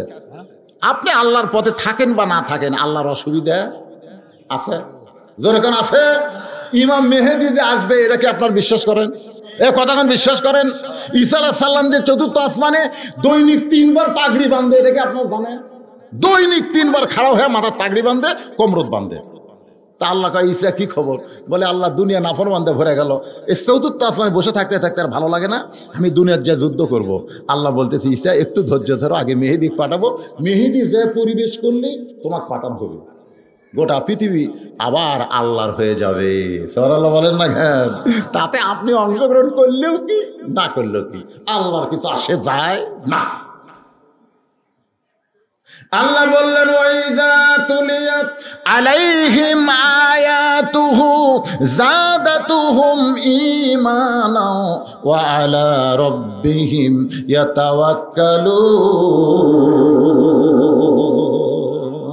বুড়ি বলতেছে, বাবা নুহু, আমার ভিতরে আমল জানতে চাও। ও বাবা নুহু, তুমি যখন আমাকে নৌকায় হাত ধরে তুলবার চাইছিলে, আমি তখন প্রশংসা করছিলাম কার? নুহু বলতেছে, বুড়ি মাল্লার বুড়ি বলতেছে নুহু রে ইমান গ্রহণ করার পরে আমার ইমান আমাকে বলে দিয়েছে, দুনিয়ার সবাই সবাইকে ভুলতে পারে, কিন্তু আল্লাহ কোনোদিন কাউরে ভোলে না।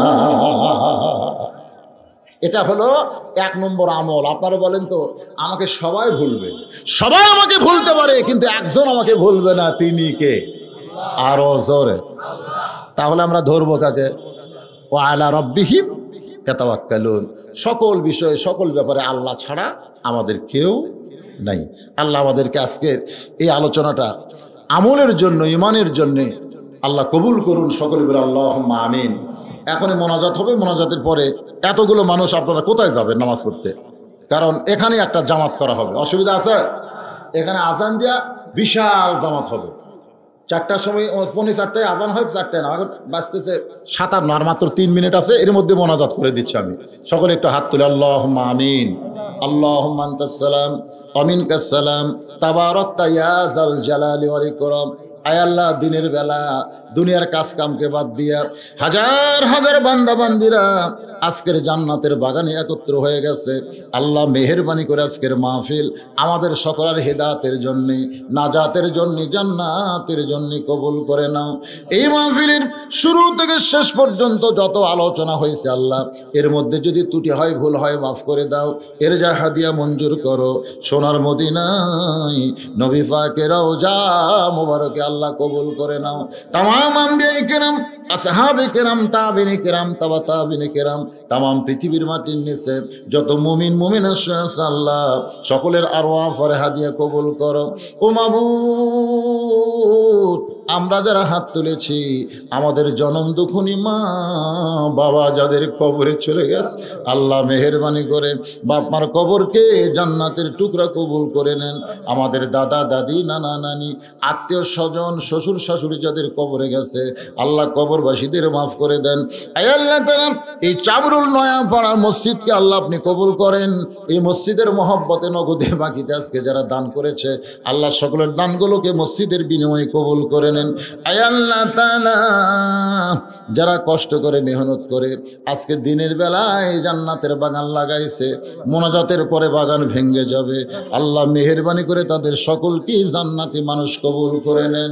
আজকের মাহফিলের সম্মানিত সভাপতিকে আল্লাহ কবুল করেন, সহসভাপতিকে আল্লাহ কবুল করেন, প্রধান অতিথি, বিশেষ অতিথি আল্লাহ আমার ডান পাশে আমার ভাই কিছুক্ষণ আগে এসেছেন, এ সহ যারা আজকের মাহফিলের সম্মানিত অতিথি, আল্লাহ সবাইকে কবুল করেন। আলেম ওলামাদের কবুল করেন। হাফেজকারীদের কবুল করেন, হাজি সাহেবদের কবুল করেন, মুরব্বীদের কবুল করেন। আল্লাহ খাস করে, আমার মমতাজ ভাইয়ের বিবি বড় অসুস্থ, দোয়া চেয়েছে। আল্লাহ মেহরবানি করে তাকে সাফে কল্যাণ দান করেন। ও মাবুদ, আমরা যারা অসুস্থ অবস্থায় আছি, আল্লাহ আমাদের সবাইকে সুস্থ করে দেন। করোনা ভাইরাস থেকে আল্লাহ গোটা বাংলাদেশ শুধু নয়, গোটা বিশ্বের মুসলমানকে আল্লাহ আপনি হেফাজত করেন।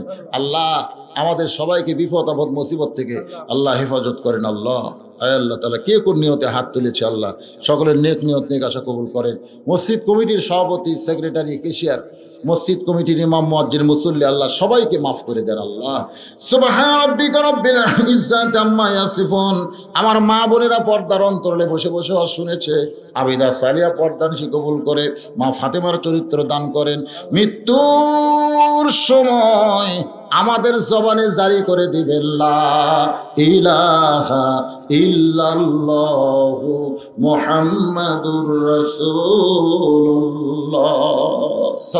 আলাইহি সাল্লাম।